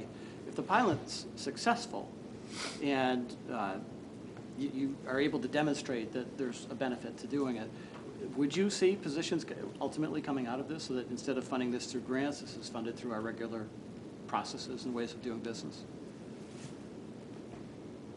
Um, I- I would, I would say no at this point. Like I say, uh, on the, on the one position that we're talking about, the, the the 82,000 that we're talking about for, for uh, the messaging and so forth is not a position or anything. It's airtime and, and um, providing the prizes for that type of contest and, and uh, that type of thing. Pamphlets, all of that kind of uh, thing. And I think if that was successful, I think that there would be um, other, number one, other communities, but I think there may be businesses too that would get behind that and, and assist with that. So we're hoping it's a pilot that catches on. The, the idea was that um, if we could get these five communities and, and show that this can work, that maybe this would be uh, Gordon Smith, who's the substance use uh, czar for the, for the state, um, has talked to us a lot about this, and I think if, uh, I I think if this pilot worked, it's something that they would want to take and, uh, and maybe expand on more of a statewide basis. Thank you. Um, What, about how many people, so this is, the you'd be working with Scarborough residents, right? This isn't like the community at large, this is, was for Scarborough residents, that the, the current treatment and travel and the, the- the so- the sober living program and all that, that's for Scarborough residents, No. right? No, it's not. No, we've, we've had people from all over the state um, coming to us.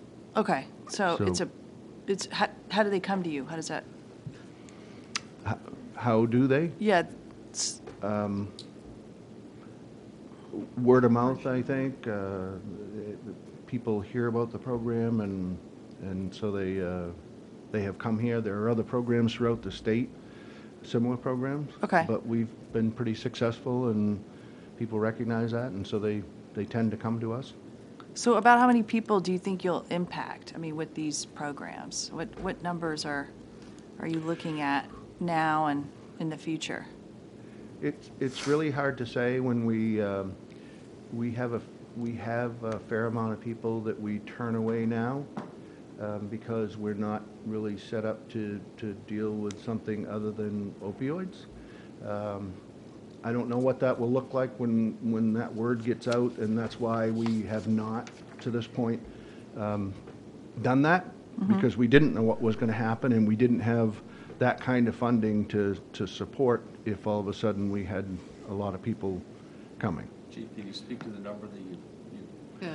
sent Yeah. to treatment for opioid? Yeah, it's a a little over 400 that we've actually placed in treatment um, s- since we started in, in November, of fif- October 15, November Yeah, 15. 2015. Um, We've probably had, uh, uh, I would say 900 to 1,000 folks that have come in.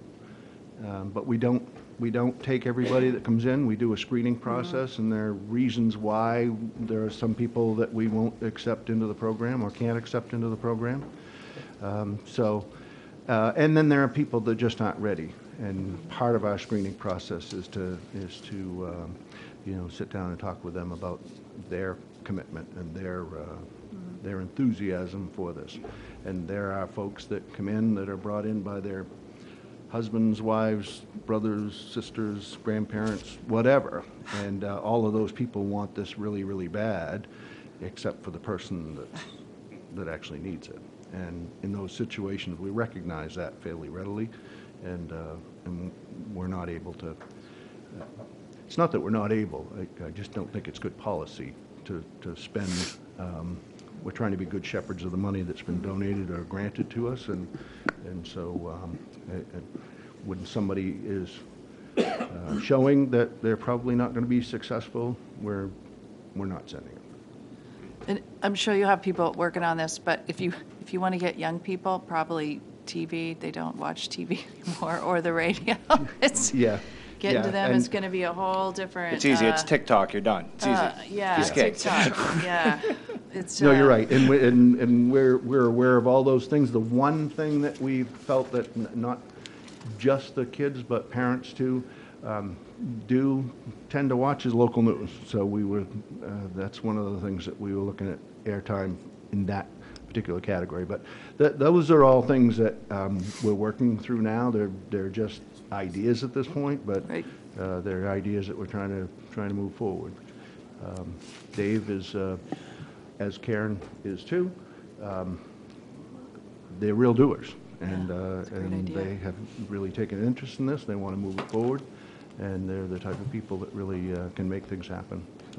I just want to provide uh, just a bit of background. and I appreciate that many of you on council now weren't on when this program started. Uh, I really credit Chief Moulton and his staff for recognizing a a need, not knowing what the depth and the severity of that need, or much less how to deal with it, but uh, doing something totally different. And um, for law enforcement to do the sort of uh, work that they're doing, kind of the social service work, is a whole mindset change. And I credit Chief for showing the leadership on this. Um, Councils through the years have, have supported it. The chief has um, essentially done this without uh, local taxpayer support. It's all Right. been done through uh, grants and donations. Um, And the goal has always been to find a better model. You know, this was never, this is not sustainable. We know that from the first day we started, but they're still showing up at our front door looking for help. And frankly, there's not another solution, regional, much less statewide. So the fact that we secured seventy-five percent of the available state, uh, money statewide should suggest to you the level of Mhm. confidence they have in Chief Moulton. Mhm. Uh, And for the state's benefit, but also for ours, we truly need to find a better model to be able to replicate this to reach uh, more people. So Mhm. I credit his steadfast uh, leadership on this, but it's time for us to pass the torch on to someone that can do it and provide even more impact. And this grant will really set the table for that, we hope. Thank you. And, and the reason that we broke it up the way we did is, is that I, it, it really is um, more than just providing the treatment and travel that we have. I, I've always said, I think this is, you know, we need the prevention education, we need the enforcement, and we need the, uh, the treatment and so forth. They've all got to be in place in order for, for us to find our way out of this. Yeah, um, congratulations on the grant. I remember I was on the council when we green lighted the original Operation Hope. Um, and you're far too modest, uh, about it. It was really the first program in the state. It was modeled after a program in Gloucester, Massachusetts. Um, and it has taken off in the state, and when I'm talking the program, I talk about Operation Hope. Um, I know individuals who've been helped by this program. Um, and the ramifications are wide, broad and wide, and we'll never know sometimes, you know, the success we've had. But I, I just, I'm just absolutely thrilled that you were able to land this amount of, this is a big chunk of money for a grant, four, Mhm. almost five hundred thousand dollars. And I also like the, um, the youth factor of it and letting the kids take the lead, so to speak, because they'll know where it needs to go, like TikTok or, or whatever. Um, so kudos. I think it's awesome. Thank you. Any more questions? Thank you, sir. Is there a motion on the table? So moved. A second? Second. Discussion? Councilor Hamill? Yes, I uh, just, you know, I wanted to echo the comments that uh, several have made about uh, kudos to Chief and the, uh, the innovation and uh, uh, to try to find a solution for this problem that really touches everybody. It's clear there are unmet needs. So, uh, so we appreciate that. We've made a commitment to that. Um, So don't, I don't want my questions about cost to be misinterpreted. Yet at the same time, I want to make sure that we follow a process for factoring in the costs associated with grants. This is not, you know, not cost neutral. and there aren't any savings that I see. It represents staff additions and other potentially, and, and other uh, um, salary and benefits costs uh, that may be incurred, and there may be growth of this. Certainly, the need, the demand is going to increase. So, I, I just want to make sure we we model that and we we have that go through the same approval process that we will be following for the budget this year. So. Anybody else? No? No, I, I- I echo Councilor Hamill's comments. I'm pretty well satisfied, I think, from this particular Mhm. case, that I don't think we run the danger of creep, so to speak, or a, Right. of a position that's created and then, and then essentially assumed to be renewed in perpetuity. I think there's, if you look back on the, the back page of the pilot program, I see lots of crossover with the DARE program, updating the DARE program. If this is successful, maybe the DARE officers adapt more of the SEED program or what have you. So there seems to me there could be lots of lateral movement in staff if something does take off. But um, I- The last thing I want to say is, a lot of times we talk about what's our return on investment, so, you know, that navigator position was one of discussion this year, and it's great to see that we, ac- we invested, I believe, of somewhere in the neighborhood of seventy-five thousand dollars all in on that neighborhood, um, excuse me, on the navigator position.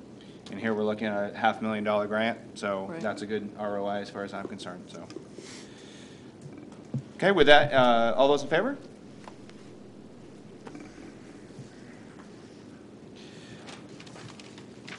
Okay, order number 20020, act on request from the Shellfish Com- Commission to approve the allocations of shellfish license, shellfish licenses for 2020. Uh, And I believe Mr. Harbor Master is here to speak to us real quick. Sorry, Mr. Mazzoni.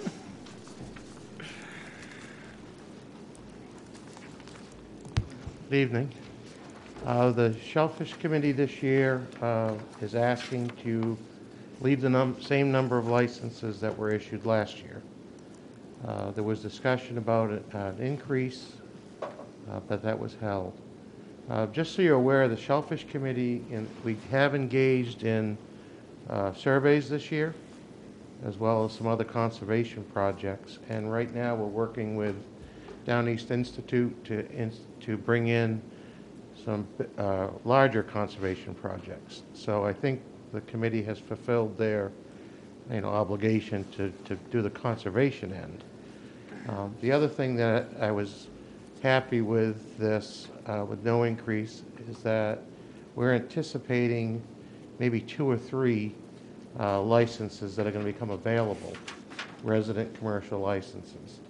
Um, So even though they didn't increase the number of licenses, there are in fact going to be some become available. So, Any questions? Councilor Hayes? I don't miss those conversations necessarily, I'm sure. um, But a question for you, just generally, you know, I know a lot of times part of it is just really trying to figure out what is the health of the flats and is it producing, you know, and I know that that's part of the surveys and trying to get a handle on that. But on the landings and other things, have, has production been pretty steady? Has it been increasing, decreasing? I think we're on track. Um, Last year Scarborough brought in the most clams in the state by a few. Um, We landed. Um, I think we're on track right now. I will tell you, there's a couple areas getting a little thin.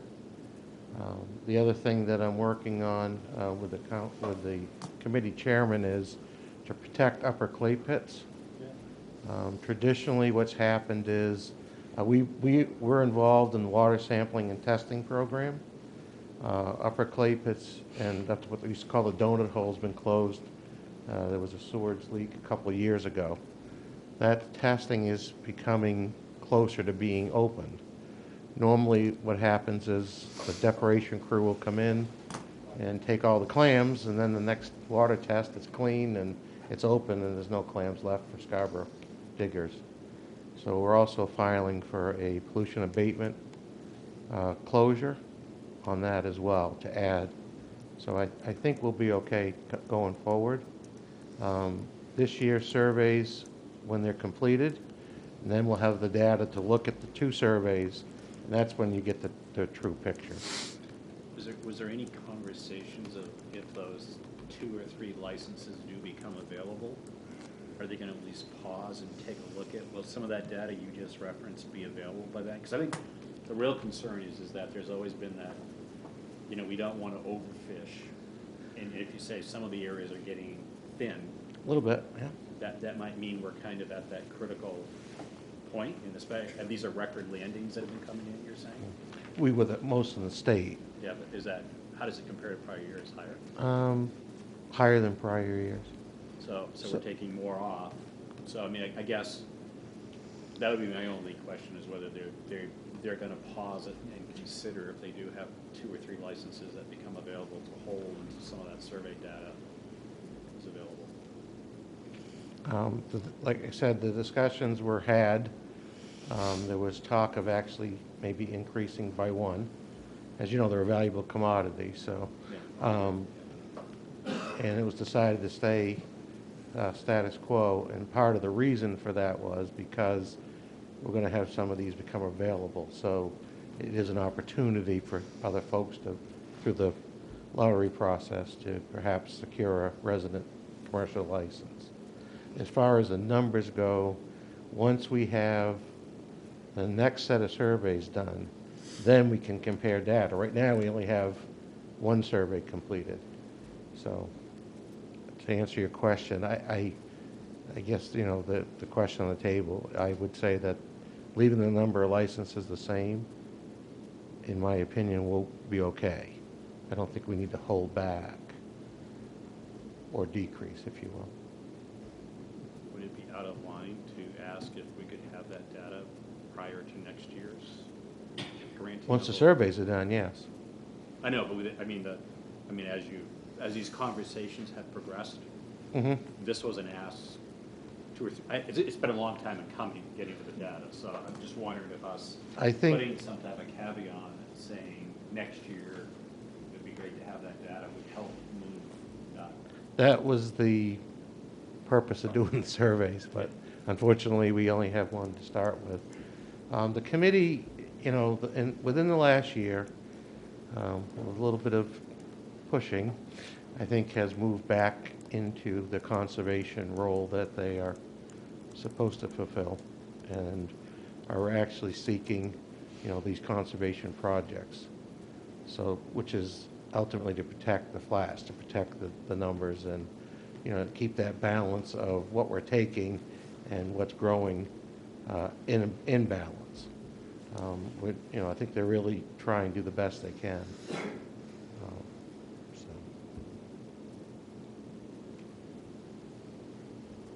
Any more? No? Okay. Is there a motion on the table? So moved. Second. Discussion? All those in favor?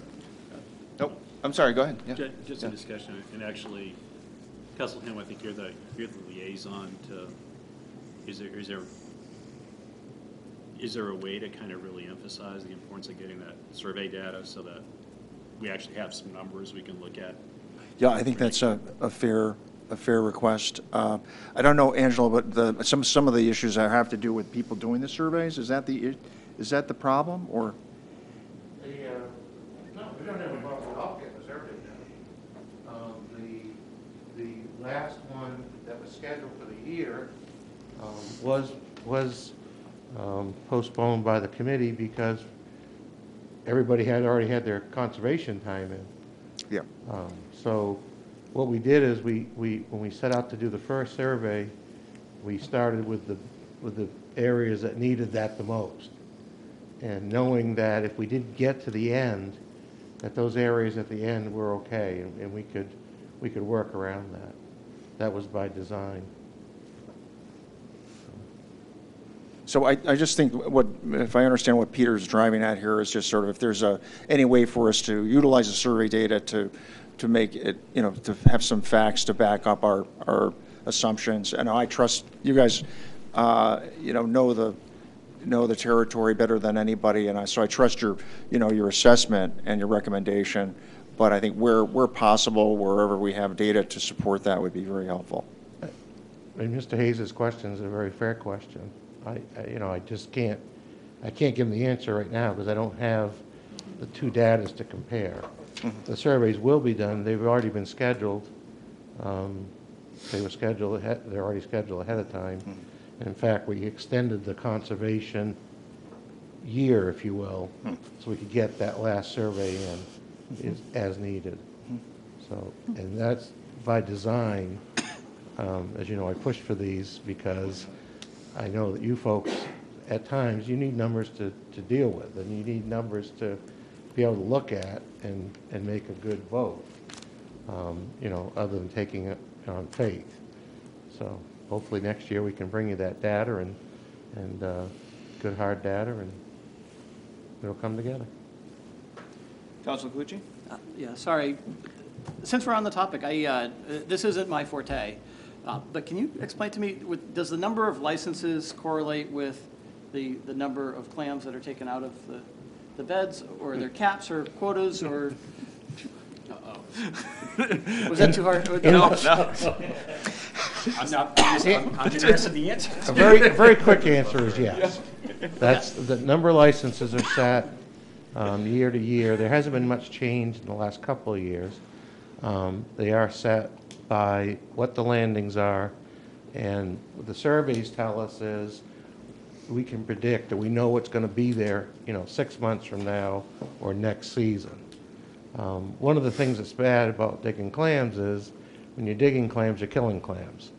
So you always have to have that balance tip, that you're not killing more, you know, so that they'll, out- they can survive. So that data surveys is one way to do that, and they weren't being done prior to last year.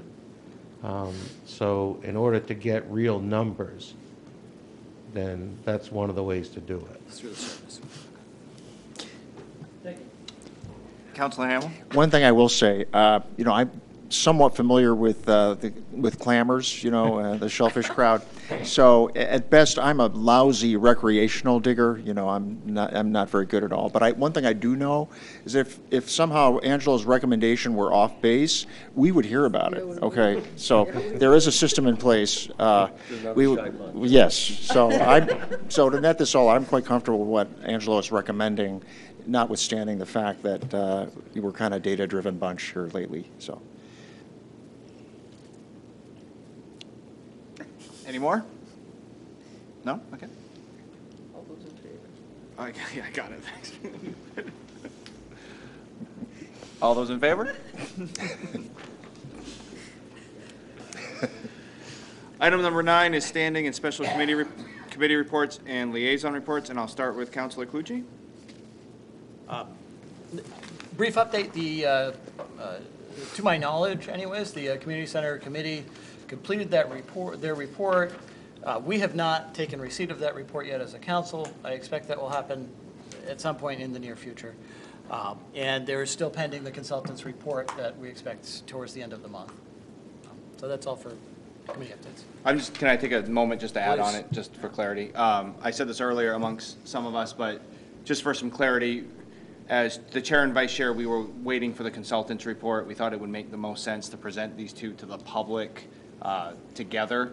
However, with that said, the community center committee is done with their work and they would like us to see it. So we will be receiving it, my guess is by the end of the week. And so we'll have access to it, to read it and to start looking over it. Um, My intentions are to wait till the consulting report, but if anybody individually wants to come and suggest otherwise, I'm completely open to it. But that, that was the decision, so. But it's flexible. Councilor Hayes. Yeah, um, I apologize in advance. I've got a couple things tonight. One is the Finance Committee did meet, our first um, Finance Committee meeting on 128. We did, and actually what came out of our town council workshop was an interest in getting the quarterly statements distributed to the town council on a very regular basis. So I did distribute the statements that we did see. Um, What I'll read in, into the record would be just, and, and what is done is staff does a great job of kind of creating the, the financial numbers not, aren't always real exciting to look at, because there's a lot of them. So they do a executive summary for us. We have a short attention span. And they, they try to boil it down to a couple things, a couple things to report out where we are as of twelve thirty-one, so six months into this, this fiscal year, if you will.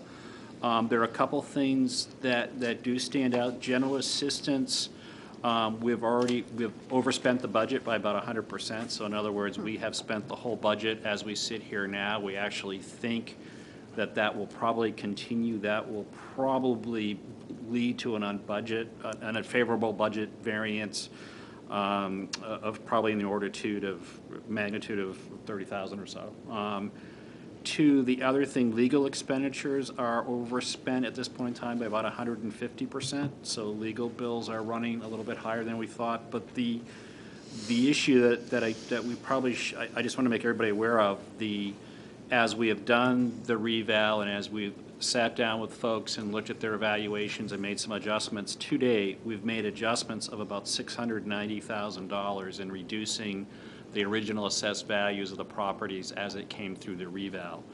Um, That will create some budget pressures at year end, but more importantly, as we sit here, as we start the budget season, the bigger impact of that, that means that as we head into the budget season, we have about $46 million less of assessed value. That will put some pressure on the mill rate as we calculate it. Usually, we have about 1% organic growth. This represents about a 1% reduction from how we set the mill rate a year ago. So it's good for us to know that as we head into budget season, but that's going to create some, some challenges for us as we try to navigate to our goals of 3%.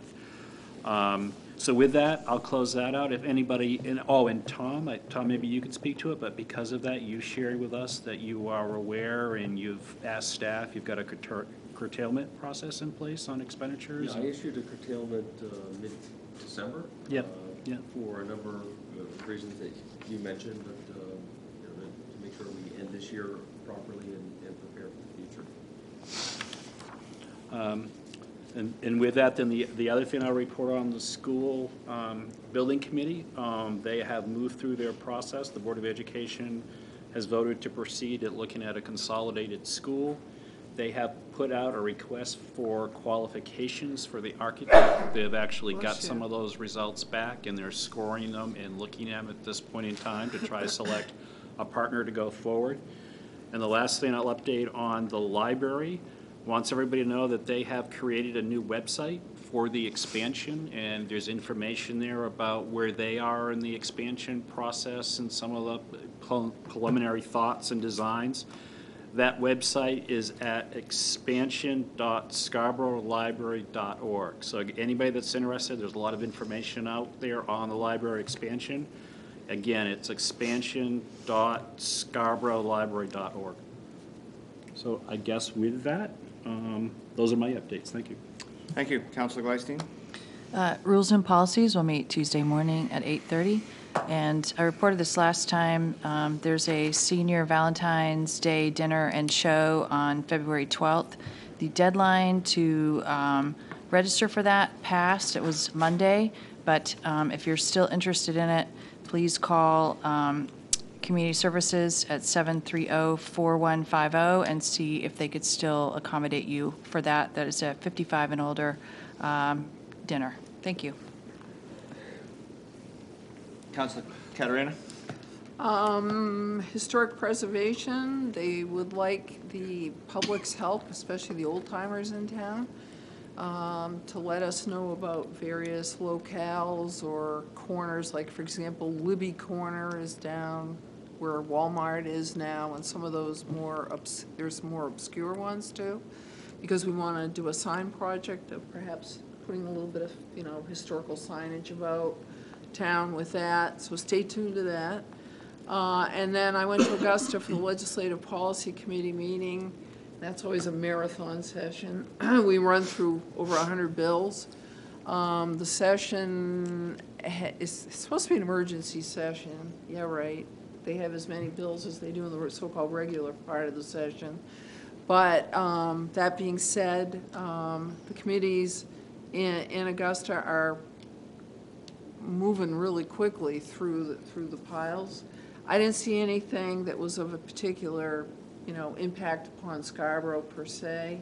Um, I think I only have to go to, that was our only meeting, having to go to Augusta. We do, otherwise, we do it through um, SurveyMonkey um, for any issues that come up, but um, that's where we're at with that.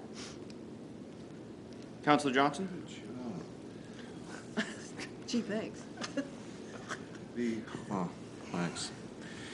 Yeah, the Communications Committee, we met this week. A Couple items maybe of interest. We met with the IT department, We- so we met with the new IT director, fairly new IT director, about eight months, right, Tom? And our new uh, webmaster, they gave us an overview of the architecture of our current website tools. And it was more of an under, for an understanding from us to, so we knew where to focus our frustration about the websites. But actually, it, it was very informative, uh, very eager new employees, for, uh, three IT people on the communication committee, so we had a good dialogue. I thought we had, we had a certain level of understanding. Uh, There were some takeaways uh, by them, not, we didn't give them work, Tom. We just asked them to look into a couple things. Uh, And they were uh, more than willing to. I, I have, they were gonna look into our alert system. Can we set up an alert system for committee documents, council-related documents on the website directly to us, possibly the uh, public also, looking into some of the indexing on our search results, because you know that's part of our frustration on that. Uh, And there was one more, and I can't remember it. Do you remember it, uh, John or Betsy? There were three takeaways. They were minor, they thought they were minor, wasn't gonna cause them any work, but they could be big hits for us, so. Subscriptions, I'm sorry, like, you can remember like the last. I know, and it's late in the night, so we'll let it go at that. Once, once we get the follow-up, we'll report back to it. Uh, Larissa is reaching out to SEDCO to help us come up with a little uh, design for a communication theme or campaign to get people engaged with the e-newsletter related to the charge from the council on the uh, doubling the subscription of the e-newsletter, unless that's part of the curta- curtailment that Tom just mentioned. because She did say there were two or three hundred dollars in the budget that she could probably use, so we'll have to wait and see on that. Uh, We're gonna reinstate, for lack of a better term, the council corner on the e-newsletter. Uh, I'm gonna be doing our rollout on the first one, so hold on to your pants on that for next week. But then we're I'm gonna really look to the council for support. We'd like to have it at a minimum every month, but would like to have some type of councilor corner information to share council-related information to the public. So you'll be hearing from us, at least me, I'll be tapping you on the shoulder, please. Uh, Remember, we have a communication committee is sponsoring the roundtable on WEX. Uh, Staff is going to give a presentation of facts only. This is not to be a selling meeting. This is typical roundtable. People are invited. They're going to, we're going to share information just on the facts, and then we're going to take questions, comments from the public. All councilors are welcome to join. That's on the 13th at 6 PM. Uh, I'll let it go to that, with that. Where is your roundtable? It's going to be right here. 6 PM on the 13th. Council Hamill? Thank you. Uh, A couple of updates for Appointments and Negotiations Committee. We met on Monday. Uh, Liam Gallagher joined us uh, for an update on upcoming labor contract negotiations. Apparently, we've got the firefighters coming up, Uh, so they're they're having an addition, an initial um, mana- management team meeting, I think, uh, in a week or so. So we'll look forward to, to tracking with them on their issues and uh, may, or likely have an executive session in March to talk about uh, issues and objectives um, with a focus on, you know, trying to get an idea of what sort of budget impact there might be, especially for the economic items. Um, the uh, other thing I wanted to update on is that we are going through a, a process of reviewing current committees and boards, uh, ones that are required, ones that are on the books and active, and believe it or not, we have some on the books that are not active. So we're looking at some potential opportunities uh, uh, at possible consolidations, um, um, and uh, you you know, so that'll be something that we'll we'll be spending some more time on. Uh, we will be coming back with uh, more details on the uh, charge for staffing ad hoc committees. Um, Peter and Jean Marie are going to be working on helping us to draft that, and we're going to wait until we get the report out from the ad hoc, the first ad hoc committee, or most recent one, the Community Center Committee, to uh, capture those learnings and figure out what, what, what worked and what we might do going forward. So that's, that's essentially it.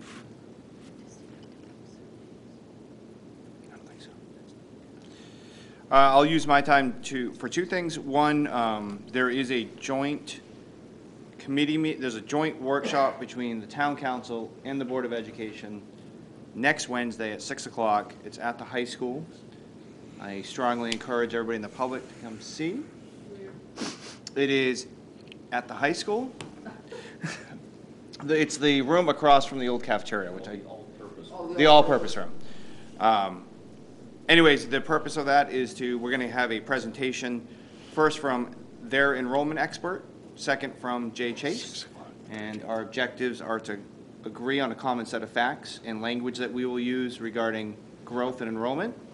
Uh, We will also use the third hour to get an update on the Eight Corners portable financing and to discuss uh, some possibilities of a remedy or perhaps a, a half path forward for the turf and track field. And I'll save those remedies for later because I don't think they're 100% fleshed out, so I don't want to necessarily insinuate one thing or the other.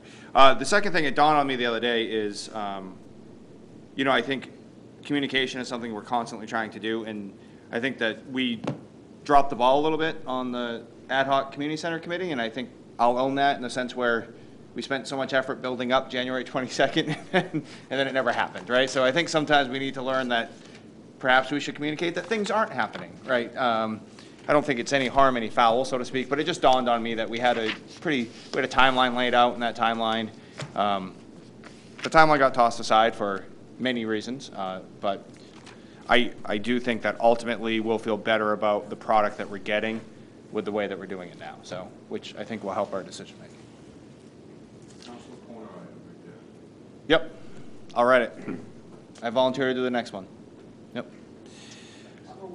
Item 10, town manager's report. Yes, just a quick update of the public safety building, uh, three different areas. Work is uh, progressing quite nicely. Masonry work is the piece that's caught everyone's attention, it's the piece that you see. Uh, I noticed today that they actually reached the final peak, and so uh, the end's in sight, maybe as soon as the end of the week um, in that regard. But everything's, uh, continues on schedule.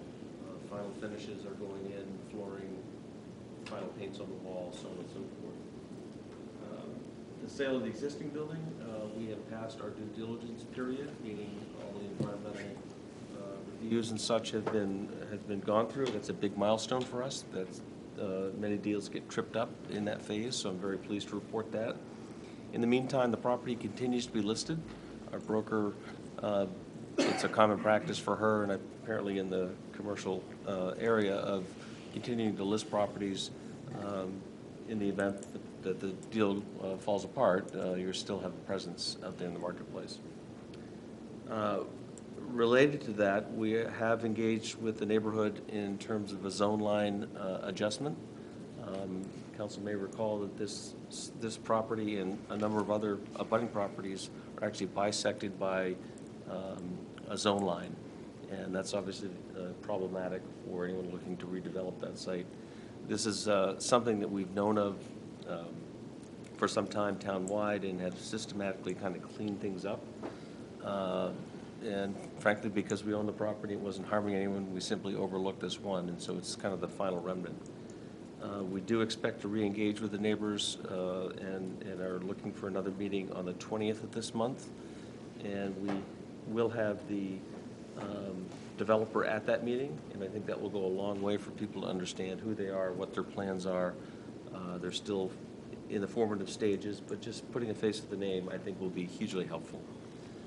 The last piece on that front, I'll, I'll report, uh, in spite of our best efforts to resolve issues amicably at the building, uh, we are heading toward mediation and arbitration with the architect on some design defect issues. Um, We have a, you know, great comfort and protection through our contract and are exercising our legal rights uh, to protect our, our interests. So again, the good news is the project uh, schedule has not changed uh, and the work is getting done, but we'll be sorting through responsibility for payment um, for months to come, I suspect. But um, it's, it's an unfortunate turn, but it- it's a necessary position for us to take to protect our interests at this point. Uh, This may be a matter for an executive session in the, in the future, if, should it go further. I still, the ever, ever the optimist, hope that uh, something can be resolved through mediation and arbitration. It doesn't require further action. Last point I'll raise, just from housekeeping, uh, we will be looking to do the audit presentation before your next regular meeting on the 19th. I've invited uh, your colleagues on the Board of Education. That is school vacation week, so I don't expect it'll be a full complement of the board. Uh, But, but key staff and, and certainly several board members will be present, so we do that as a workshop uh, before the meeting. With that, Mr. Chair?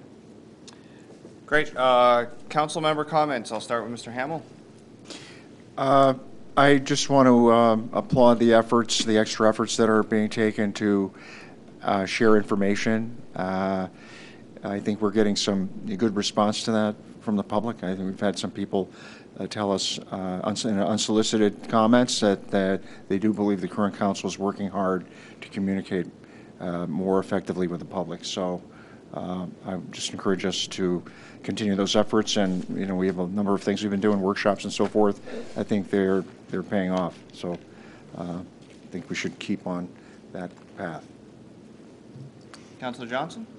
I know we're all tired, but I'll tell you, sometimes at the end of the day, I'm sure we've all felt it, you feel beat up because we're involved in a lot of things, and there's a lot of opinions out there, and they're all welcome and all listened to, but it, sometimes at the end of the day, you feel beat up. So to come here really and hear things like from Chief Moulton about really good things happening in this town and with the Project Grace, uh, speaking, uh, speaker earlier, it, it just, it kind of level sets everything, because there's a lot of good things that go on in this town. I want to, want to thank everybody that's involved in that type of stuff. Councilor Caterina? Um, yes, speaking of Project Grace, again, I've been involved with Project Grace for a number of years, even before being on council. Um, and I hope that people drop by. You don't have to stay for the whole two hours, ten to noon, at the fire station. Uh, the Saturday, but they have a, they actually have a drive-through. You drive through, leave a check and drive off, so. Would they put it in the car? Yeah, there you go. So, uh, please come by. It's, it is important. It makes a huge difference to many people in town. Just have a little bit extra help, uh, with fuel costs. Uh 'cause cause fuel costs, they're expensive. I mean, they are expensive. And then the other thing is, I just wanna thank everybody who's written to us regarding WEX. Um, I've gotten a lot of positive feedback from folks, small business people, um, just the general public who are pretty excited about the possibilities. Um, and yes, you know, I've heard some pe- from some people too who, they think we're giving away money, but, uh, we're not, but that's another, that's next week. Uh, two weeks, I guess. I'll talk about that. So anyway, thank you. Next week is the joint Next workshop. week is, uh, is, is school board. Yes, Councilor thank you. Um, Yeah, I would just echo that we've heard from a lot of people uh, on the, the WEX deal, um, and that, uh, you know, a lot of people are, um, you know, nervous to speak in front of town council. And so, uh, you know, I think there's been a lot of opinions both ways, but uh, I think where some of the, the major questions are, are, are really coming in is, um, you know, are we, are we getting the best deal we can for the town? And that's, you know, that's where I'm focused right now is, uh, with everything going on, is this the best deal for the town, uh, that we can get? So, Councilor Hayes? Yeah, I haven't seen other than everything safe, and it sounds like positive. So,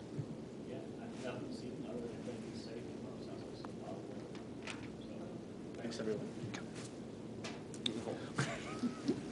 So, yeah, I, uh, assuming I can go now, right? Yes, Councilor I- I- I was actually impressed with the turnout tonight, too. Uh, uh, a Pretty strong s- show of support for uh, the WEX CEA. Um, You never know, because we get a lot of emails both ways, and I, uh, I was encouraged to see that there was a, a pretty deep understanding of the impact this could have, and a pretty good showing of support. Uh, Pet project that I've been working on uh, kind of relates to, it's loosely related to WEX, but um, you you may realize that uh, there's a lot of other communities that are similar to Scarborough and and rel- relatively affluent that receive a lot more school funding than we do. And I've been trying to get my arms around understanding that. And I, and I think there's some communities out there that have a strategy. And one of the strategies is to try to direct their growth towards a TIF district because TIF districts shelter your funds from the state. And I, I can quote a couple of numbers, like Falmouth, for example, they get a 25% of their funding from the state, second richest community in the state, 7.5% of their uh, total value is in a TIF district or TIF districts. Cumberland gets almost half of their uh, funding from the state.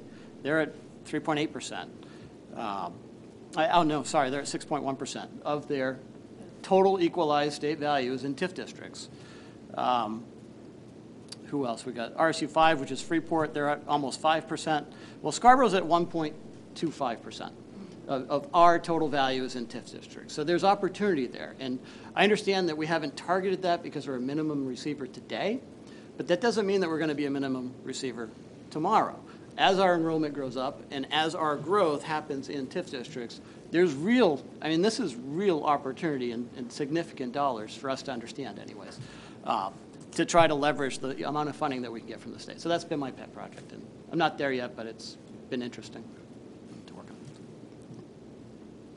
Yeah, I think, um, just uh, since WEX is a little bit of a, a topic here, I, we've had a ton of emails. There's lots of people that are, that are concerned about the WEX deal, and I completely respect that. I do, I, I would like to say, I think, two things. One, the taxpayer is at every single one of our decisions, and we're going to disagree on it. Um, But none of us are up here saying, I want to do this to hurt the taxpayer. We're all acting, whatever we choose, to, to act in a way that, that's the only people we serve.